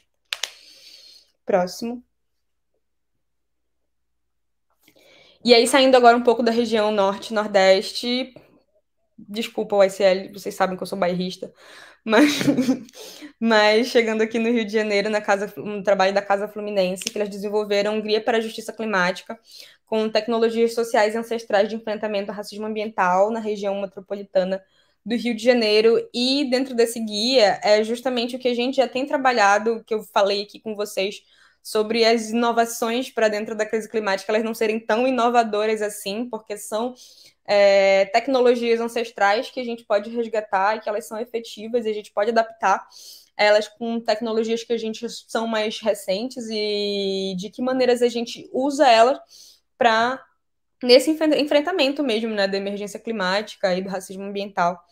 É, é um guia que ele é muito massa e tem um podcast também é muito legal para, sei lá, quem gosta de podcast, colocar aí fazendo a sua faxina, lavando a sua louça. Eu adoro podcast também.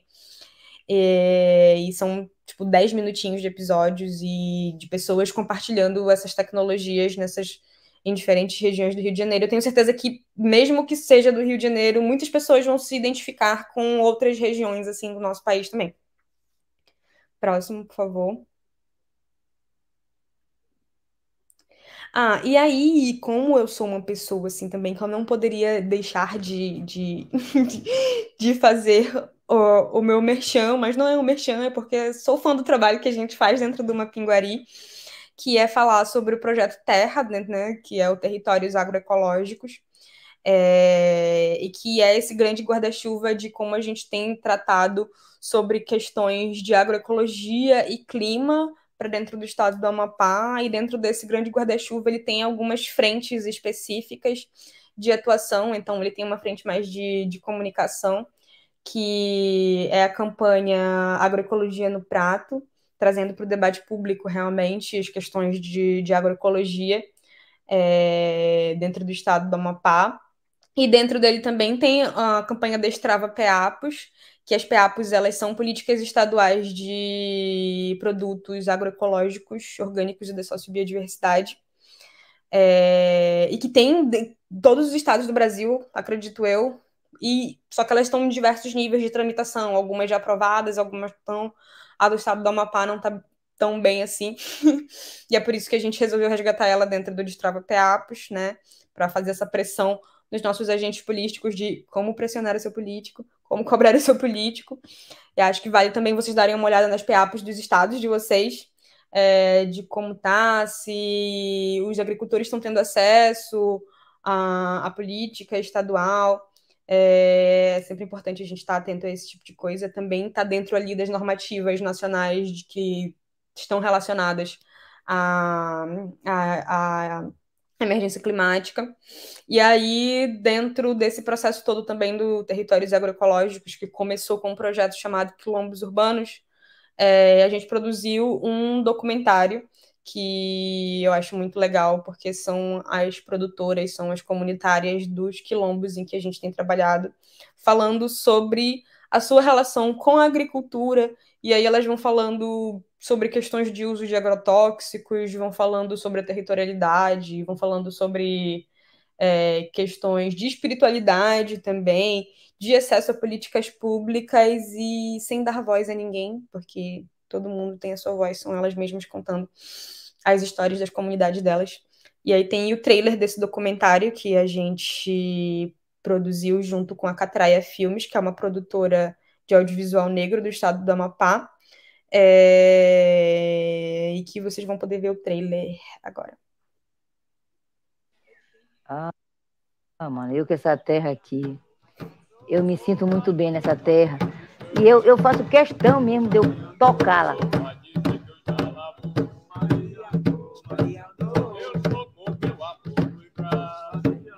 Porque, como ditado, eu me criei na agricultura estou acostumado na agricultura. Eu aprendi a lidar com planta.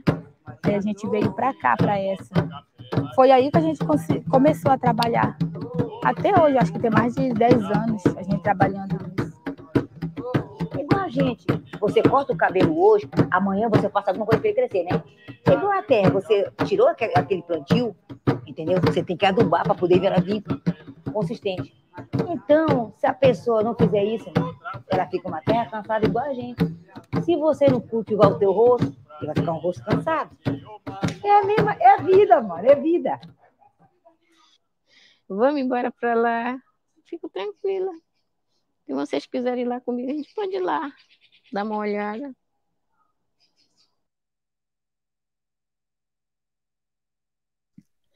Infelizmente, a nossa documentário não está disponível nas plataformas digitais, ah. porque ainda tem todas as questões de processos de direitos autorais e tudo mais, mas fica o convite para vocês também acessarem o nosso site, mapinguari.org, e conhecer também um pouco mais, e as nossas redes sociais também, tem vários relatos bem legais é, dos produtores com quem a gente tem trabalhado, e aí eu queria convidar vocês também a compartilharem iniciativas locais que são como essas que eu citei aqui, que a gente tem lutado por justiça climática, é, dentro da institucionalidade ou fora dela, de maneira mais organizada ou não, que tem surgido ou não, dentro de uma escola, dentro de um bairro, dentro de um condomínio que seja. Né? Eu queria que vocês pudessem compartilhar também dentro do chat espaços que vocês conheçam. Que eu sei que tem muita coisa espalhada Brasil afora é, de movimentos que têm buscado por justiça climática e entendendo também essa interseccionalidade do tema, né? De que falar sobre justiça climática não necessariamente vai estar estampado na nossa cara que é justiça climática, né? Que falar sobre justiça climática também é falar sobre esse combate às desigualdades, é falar sobre combate ao racismo, falar sobre qualidade de vida, falar sobre infraestruturas adequadas para as periferias. A Isadora está falando aqui sobre o Instituto Verde Luz. Explica para gente o que é o Instituto Verde Luz, mais ou menos, Isadora, por favor. Falem um pouquinho sobre as iniciativas de, de vocês. É, que enfim, né, tem, tem bastante coisa rolando também. Tem uma galerona que eu deixei de fora aqui para a gente pensar também no tempo e também porque eu acho que é importante que vocês mesmos coloquem outras iniciativas é, sobre, sobre o tema.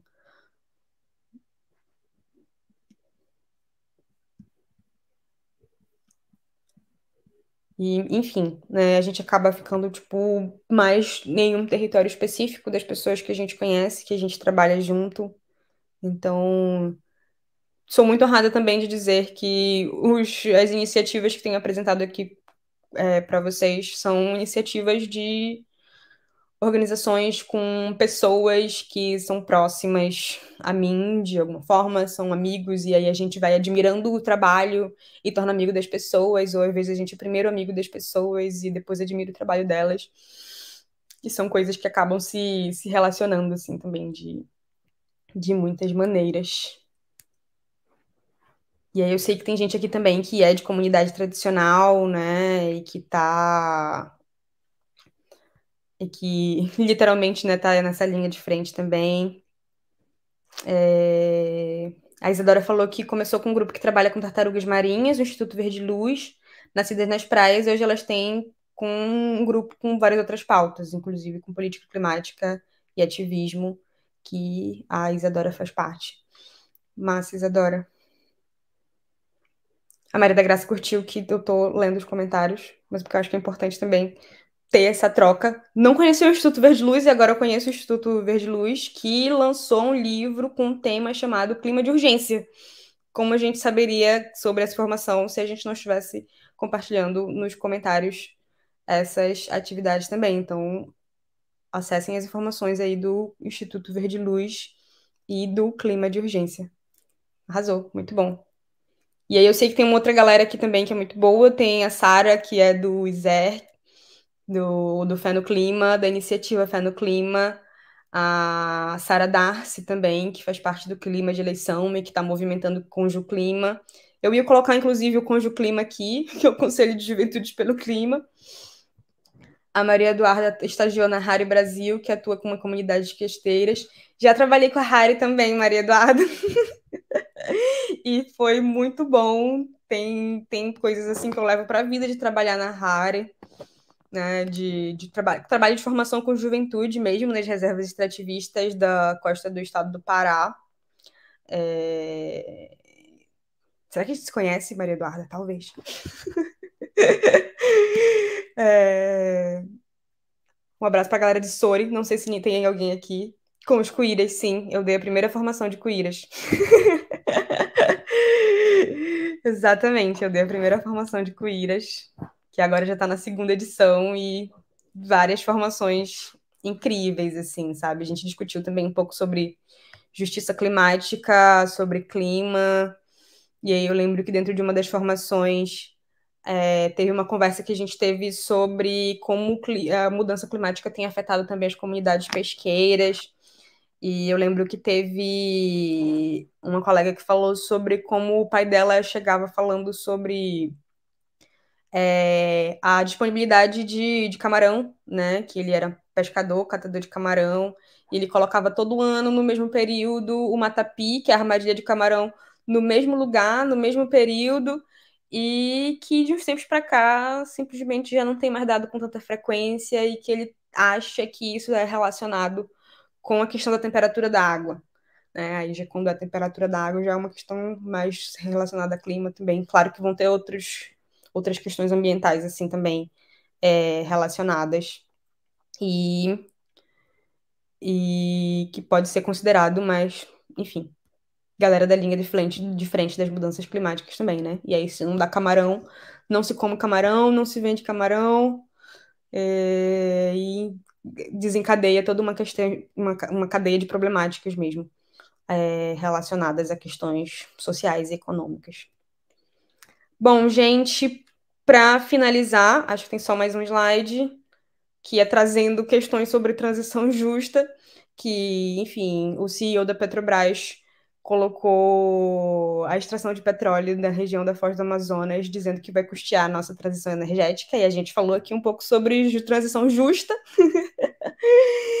e queria né, perguntar para vocês se é justo né, que abrir mais uma, um poço de petróleo na região amazônica, que é uma região já com tantas questões sociais e ambientais e com hidrelétricas que estão impactando os territórios e as pessoas, e sem as pessoas acessarem de maneira digna energia elétrica, se vale a pena realmente, se é justo que a gente esteja pagando essa conta mais uma vez, aí a conta da transição energética também, mais uma vez, dentro das comunidades amazônicas, principalmente as comunidades né, tradicionais, as comunidades indígenas e pesqueiras, porque é uma exploração aí offshore, como chama, para dentro da, da, da parte da Amazônia Atlântica.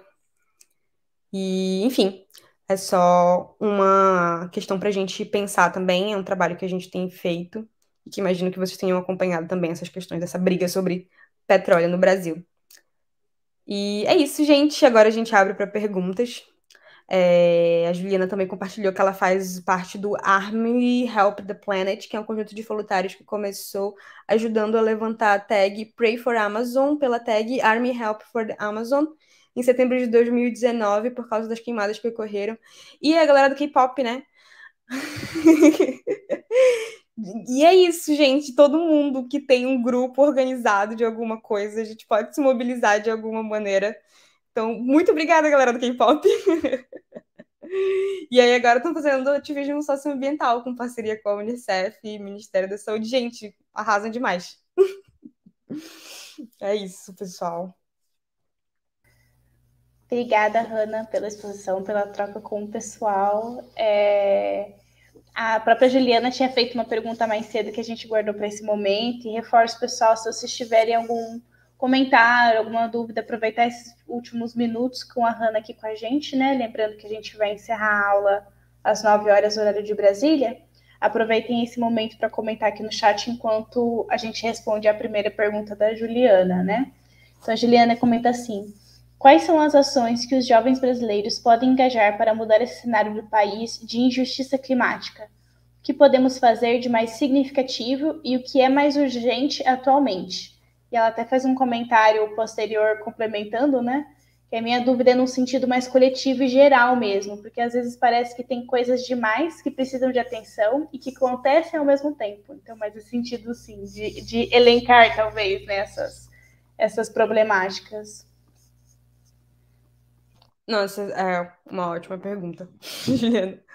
É, e aí, eu acho que, uh, sabendo agora que você faz parte do Army Help the Amazon, é, acho que já é uma coisa que tu já está fazendo e que a comunidade que tu estás inserida, de alguma maneira, já está fazendo também, que são ações de ativismo, são ações de, de, de comunicação mesmo, né?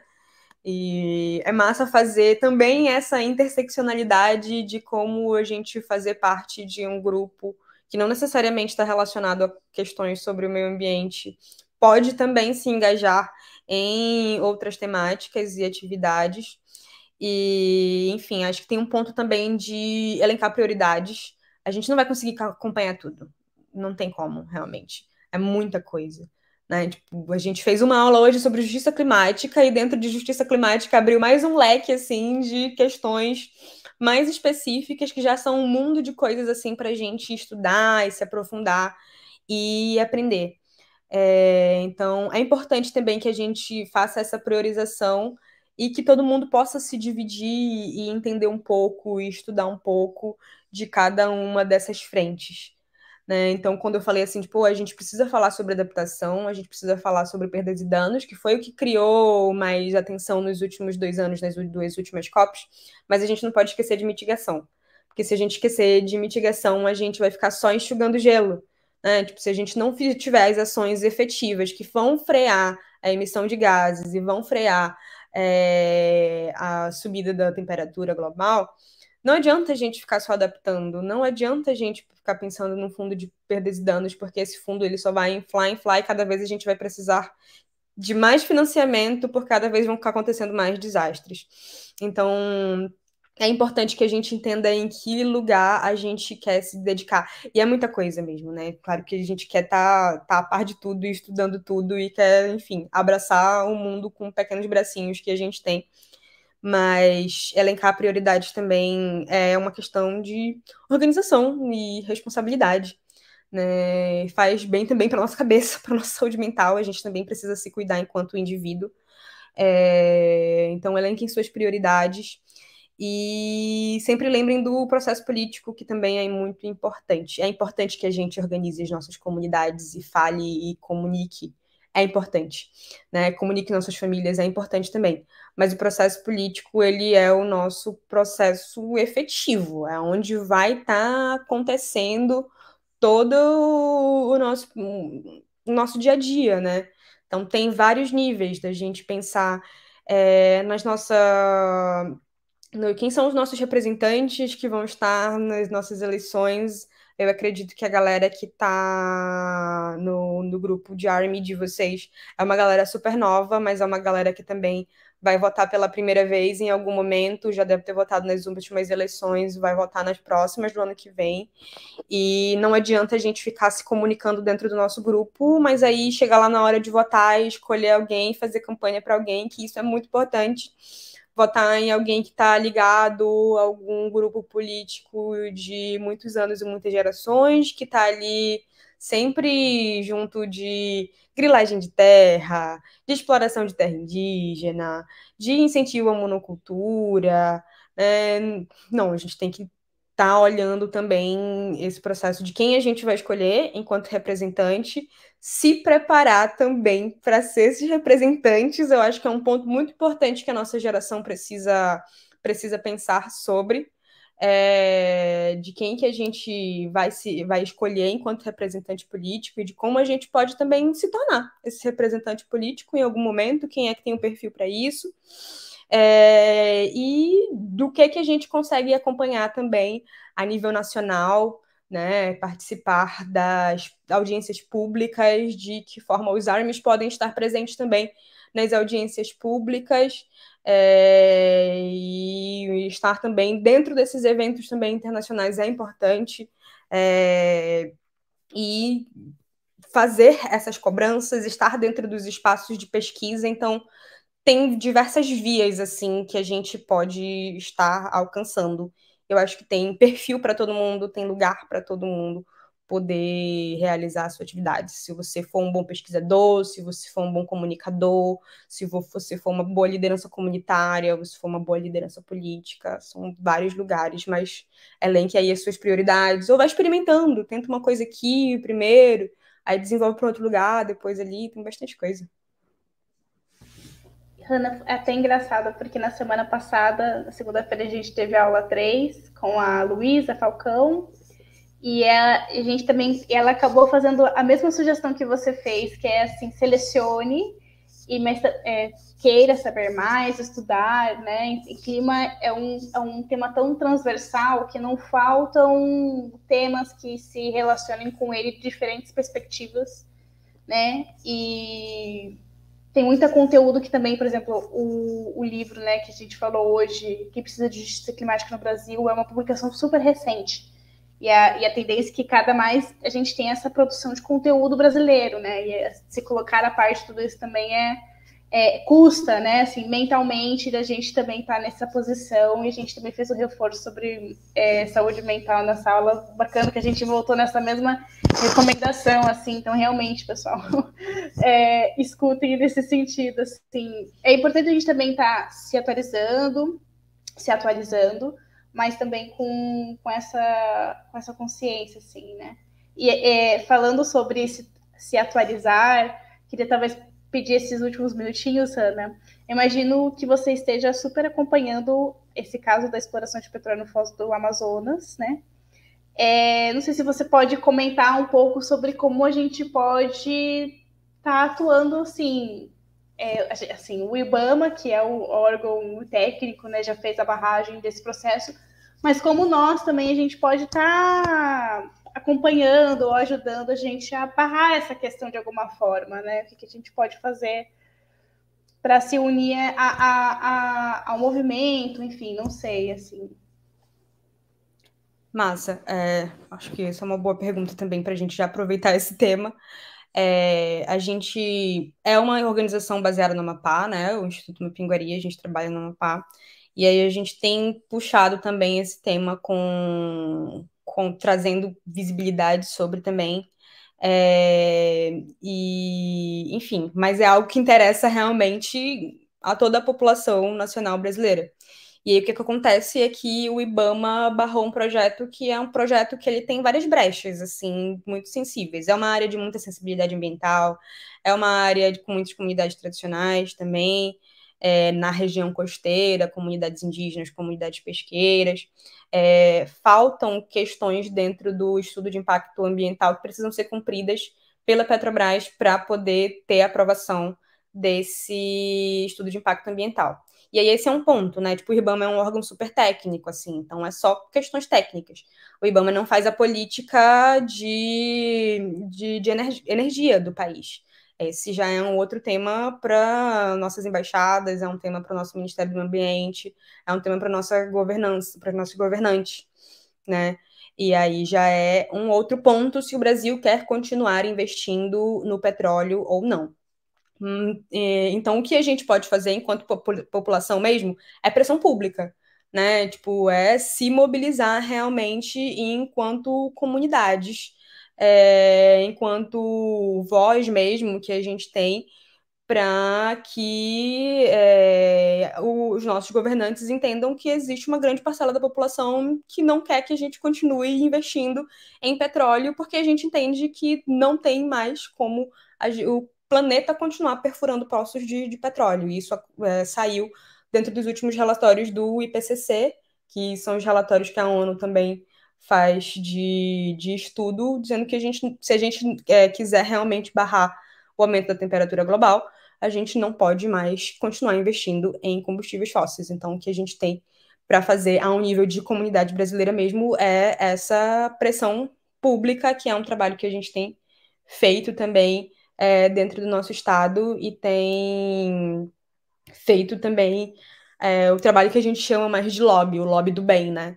De como cobrar o seu político novamente, de dizer, dizer, ó, tem essa normativa técnica aqui, a gente fez esse estudo, e aí tá dizendo isso aqui, que esse é um lugar que é tem muito impacto, as comunidades eh, tradicionais estão se manifestando dessa forma, porque não tem uma informação livre esclarecida, e é importante que a comunidade brasileira como um todo esteja também replicando que essas informações estão acontecendo e que está todo mundo acompanhando, que está todo mundo de olho.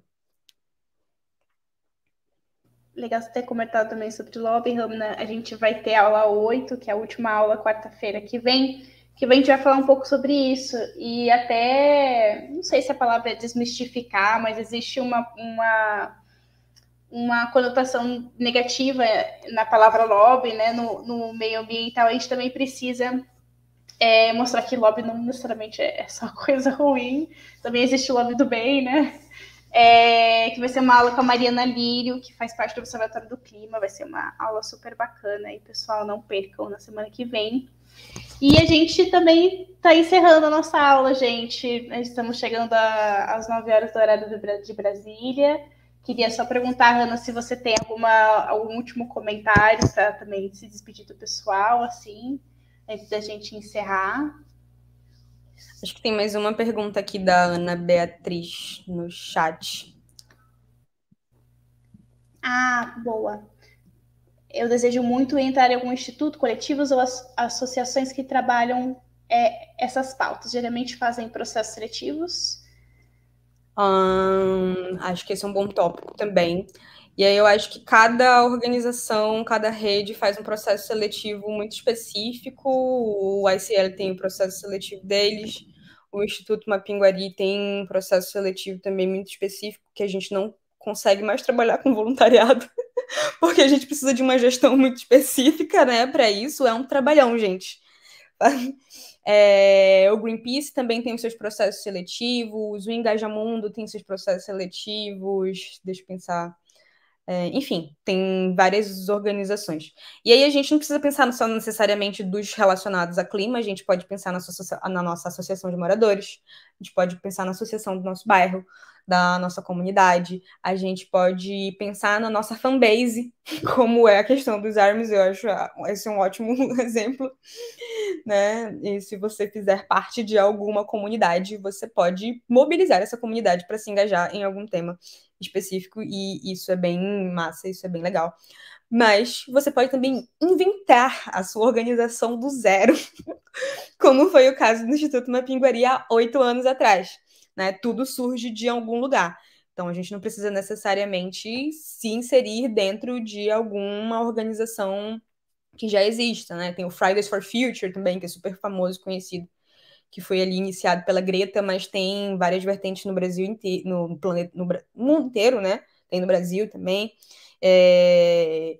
Então, Ai, mas eu não sei como é que faz um grupo, uma associação, uma reunião. A gente também não sabia, e agora a gente tem oito anos, e a gente está participando de esses espaços internacionais. eu acho que é muito importante também poder compartilhar isso, é, que a gente vai aprendendo na prática, uh, sem medo realmente de errar, e se errar, tudo bem, né? A gente vai e tenta de novo né? Vamos fazer aqui uma reunião. Ah, o que, que a gente quer fazer? A gente quer fazer uma ação de ativismo. O que, que a gente precisa para fazer essa ação? Ah, a gente precisa dessa de cartaz, a gente precisa de material, sei lá, vamos fazer uma vaquinha, vamos vender umas rifas, né? Uma, uma pinguari fez muito brechó com a roupa da galera para poder pagar os nossos impostos na e as nossas nossas licenças dentro da, da enfim, né, de questões de cartório, essas coisas assim. É, então tudo surge de algum lugar e eu acho muito válido que a gente invente as nossas próprios meios de fazer as coisas. Não é fácil, não é simples, mas é um bom espaço de aprendizado. Acho que é o melhor espaço de aprendizado que a gente tem é, é a prática. É, e aí eu acho que eu já posso ir também puxando, né, assim, um, um encerramento. E, mas acho que de maneira geral é, é, é esse, assim, o, o direcionamento, sabe? Inventem, não tenham medo de inventar as coisas e, e, e ousar também. É, o espaço do ICL é um espaço muito incrível eu sou fã da rede, realmente, e sempre quis estar compartilhando dentro do espaço da rede. E estou muito feliz de estar na aula de hoje com vocês. Eu gosto muito dar aula, eu gosto muito de compartilhar, eu gosto de ouvir as histórias que as pessoas têm para contar também sobre os temas relacionados e que todas essas políticas internacionais que se fazem, elas só fazem sentido se a gente discutir em espaços como esse daqui. De a gente ter consciência do que, que é o nosso território, de quais são as dificuldades deles, e de como a gente precisa melhorar, e de que o que empurram para a gente de, sei lá, de lá de um espaço internacional ou nacional, nem sempre é o que vai ser mais adequado para a população, mas a gente também precisa se preparar para fazer as nossas cobranças, precisa fazer os nossos estudos e as nossas pesquisas também para a gente estar embasado. Se não existem os dados, a gente vai atrás da coleta de dados. Se não existem as normativas técnicas, vamos também pensar em como construir essas normativas técnicas. É, tenho certeza que muitos de vocês estão aí dentro das universidades, utilizem o espaço dentro da universidade de vocês para ser esse espaço de geração de conhecimento voltado para a comunidade, voltado para a política pública, né? Porque também precisa, né? Não é porque o Estado está aí sendo o Estado que ele tem todas as respostas. Dentro das universidades nós estamos também nesse lugar de produção e de geração de conhecimento para quem para as nossas comunidades, nossos territórios como um todo. Então, utilizem todos os espaços em que vocês estão para para movimentar, para gerar conhecimento, para cobrar, para fazer um lobby do bem. e que bom que a gente vai ter aula sobre advocacy também. Aproveitem muito o curso do ICL. Muito obrigada por, ter, por terem me feito esse convite, Tereza e Anaís. É, admiro muito o trabalho de vocês e espero que vocês tenham aproveitado também a aula de hoje. Fiquem à vontade para seguir uma pinguari nas redes sociais, acho que já foi colocado ali. É, podem me seguir também nas redes sociais, eu sou Égua Hanna, com H e dois N's. E a gente pode ir trocando. Às vezes eu sou meio ruim de rede social também, tá, gente? Mas eu, eu respondo na medida do possível. E é isto. Obrigadão. Obrigada a você, Ana, por ter aceito o nosso convite. Foi ótimo tê-la aqui conosco. E obrigada, turma, chat, vocês foram incríveis, adorei a interação, todas as histórias que vocês compartilharam. Obrigada de verdade por terem acompanhado até agora. É um rápido lembrete, pessoal, nós temos a nossa próxima aula quarta-feira, às 7 horas da noite. Nós vamos falar sobre estados e municípios, então a agenda subnacional de política climática com a Rayana Burgos, é, fellow da rede, é cientista política, uma Rayana pessoa incrível. É, ela é ótima, gente. Vocês vão ver quarta-feira, então não percam. E, e, é isso, gente. Acompanhem, continuem aqui acompanhando as nossas aulas. A gente se vê quarta-feira, sete horas da noite, horário de Brasília. Tá bom? Um beijo para todo mundo. Obrigada por terem acompanhado e até quarta. Tchau, tchau. Boa noite.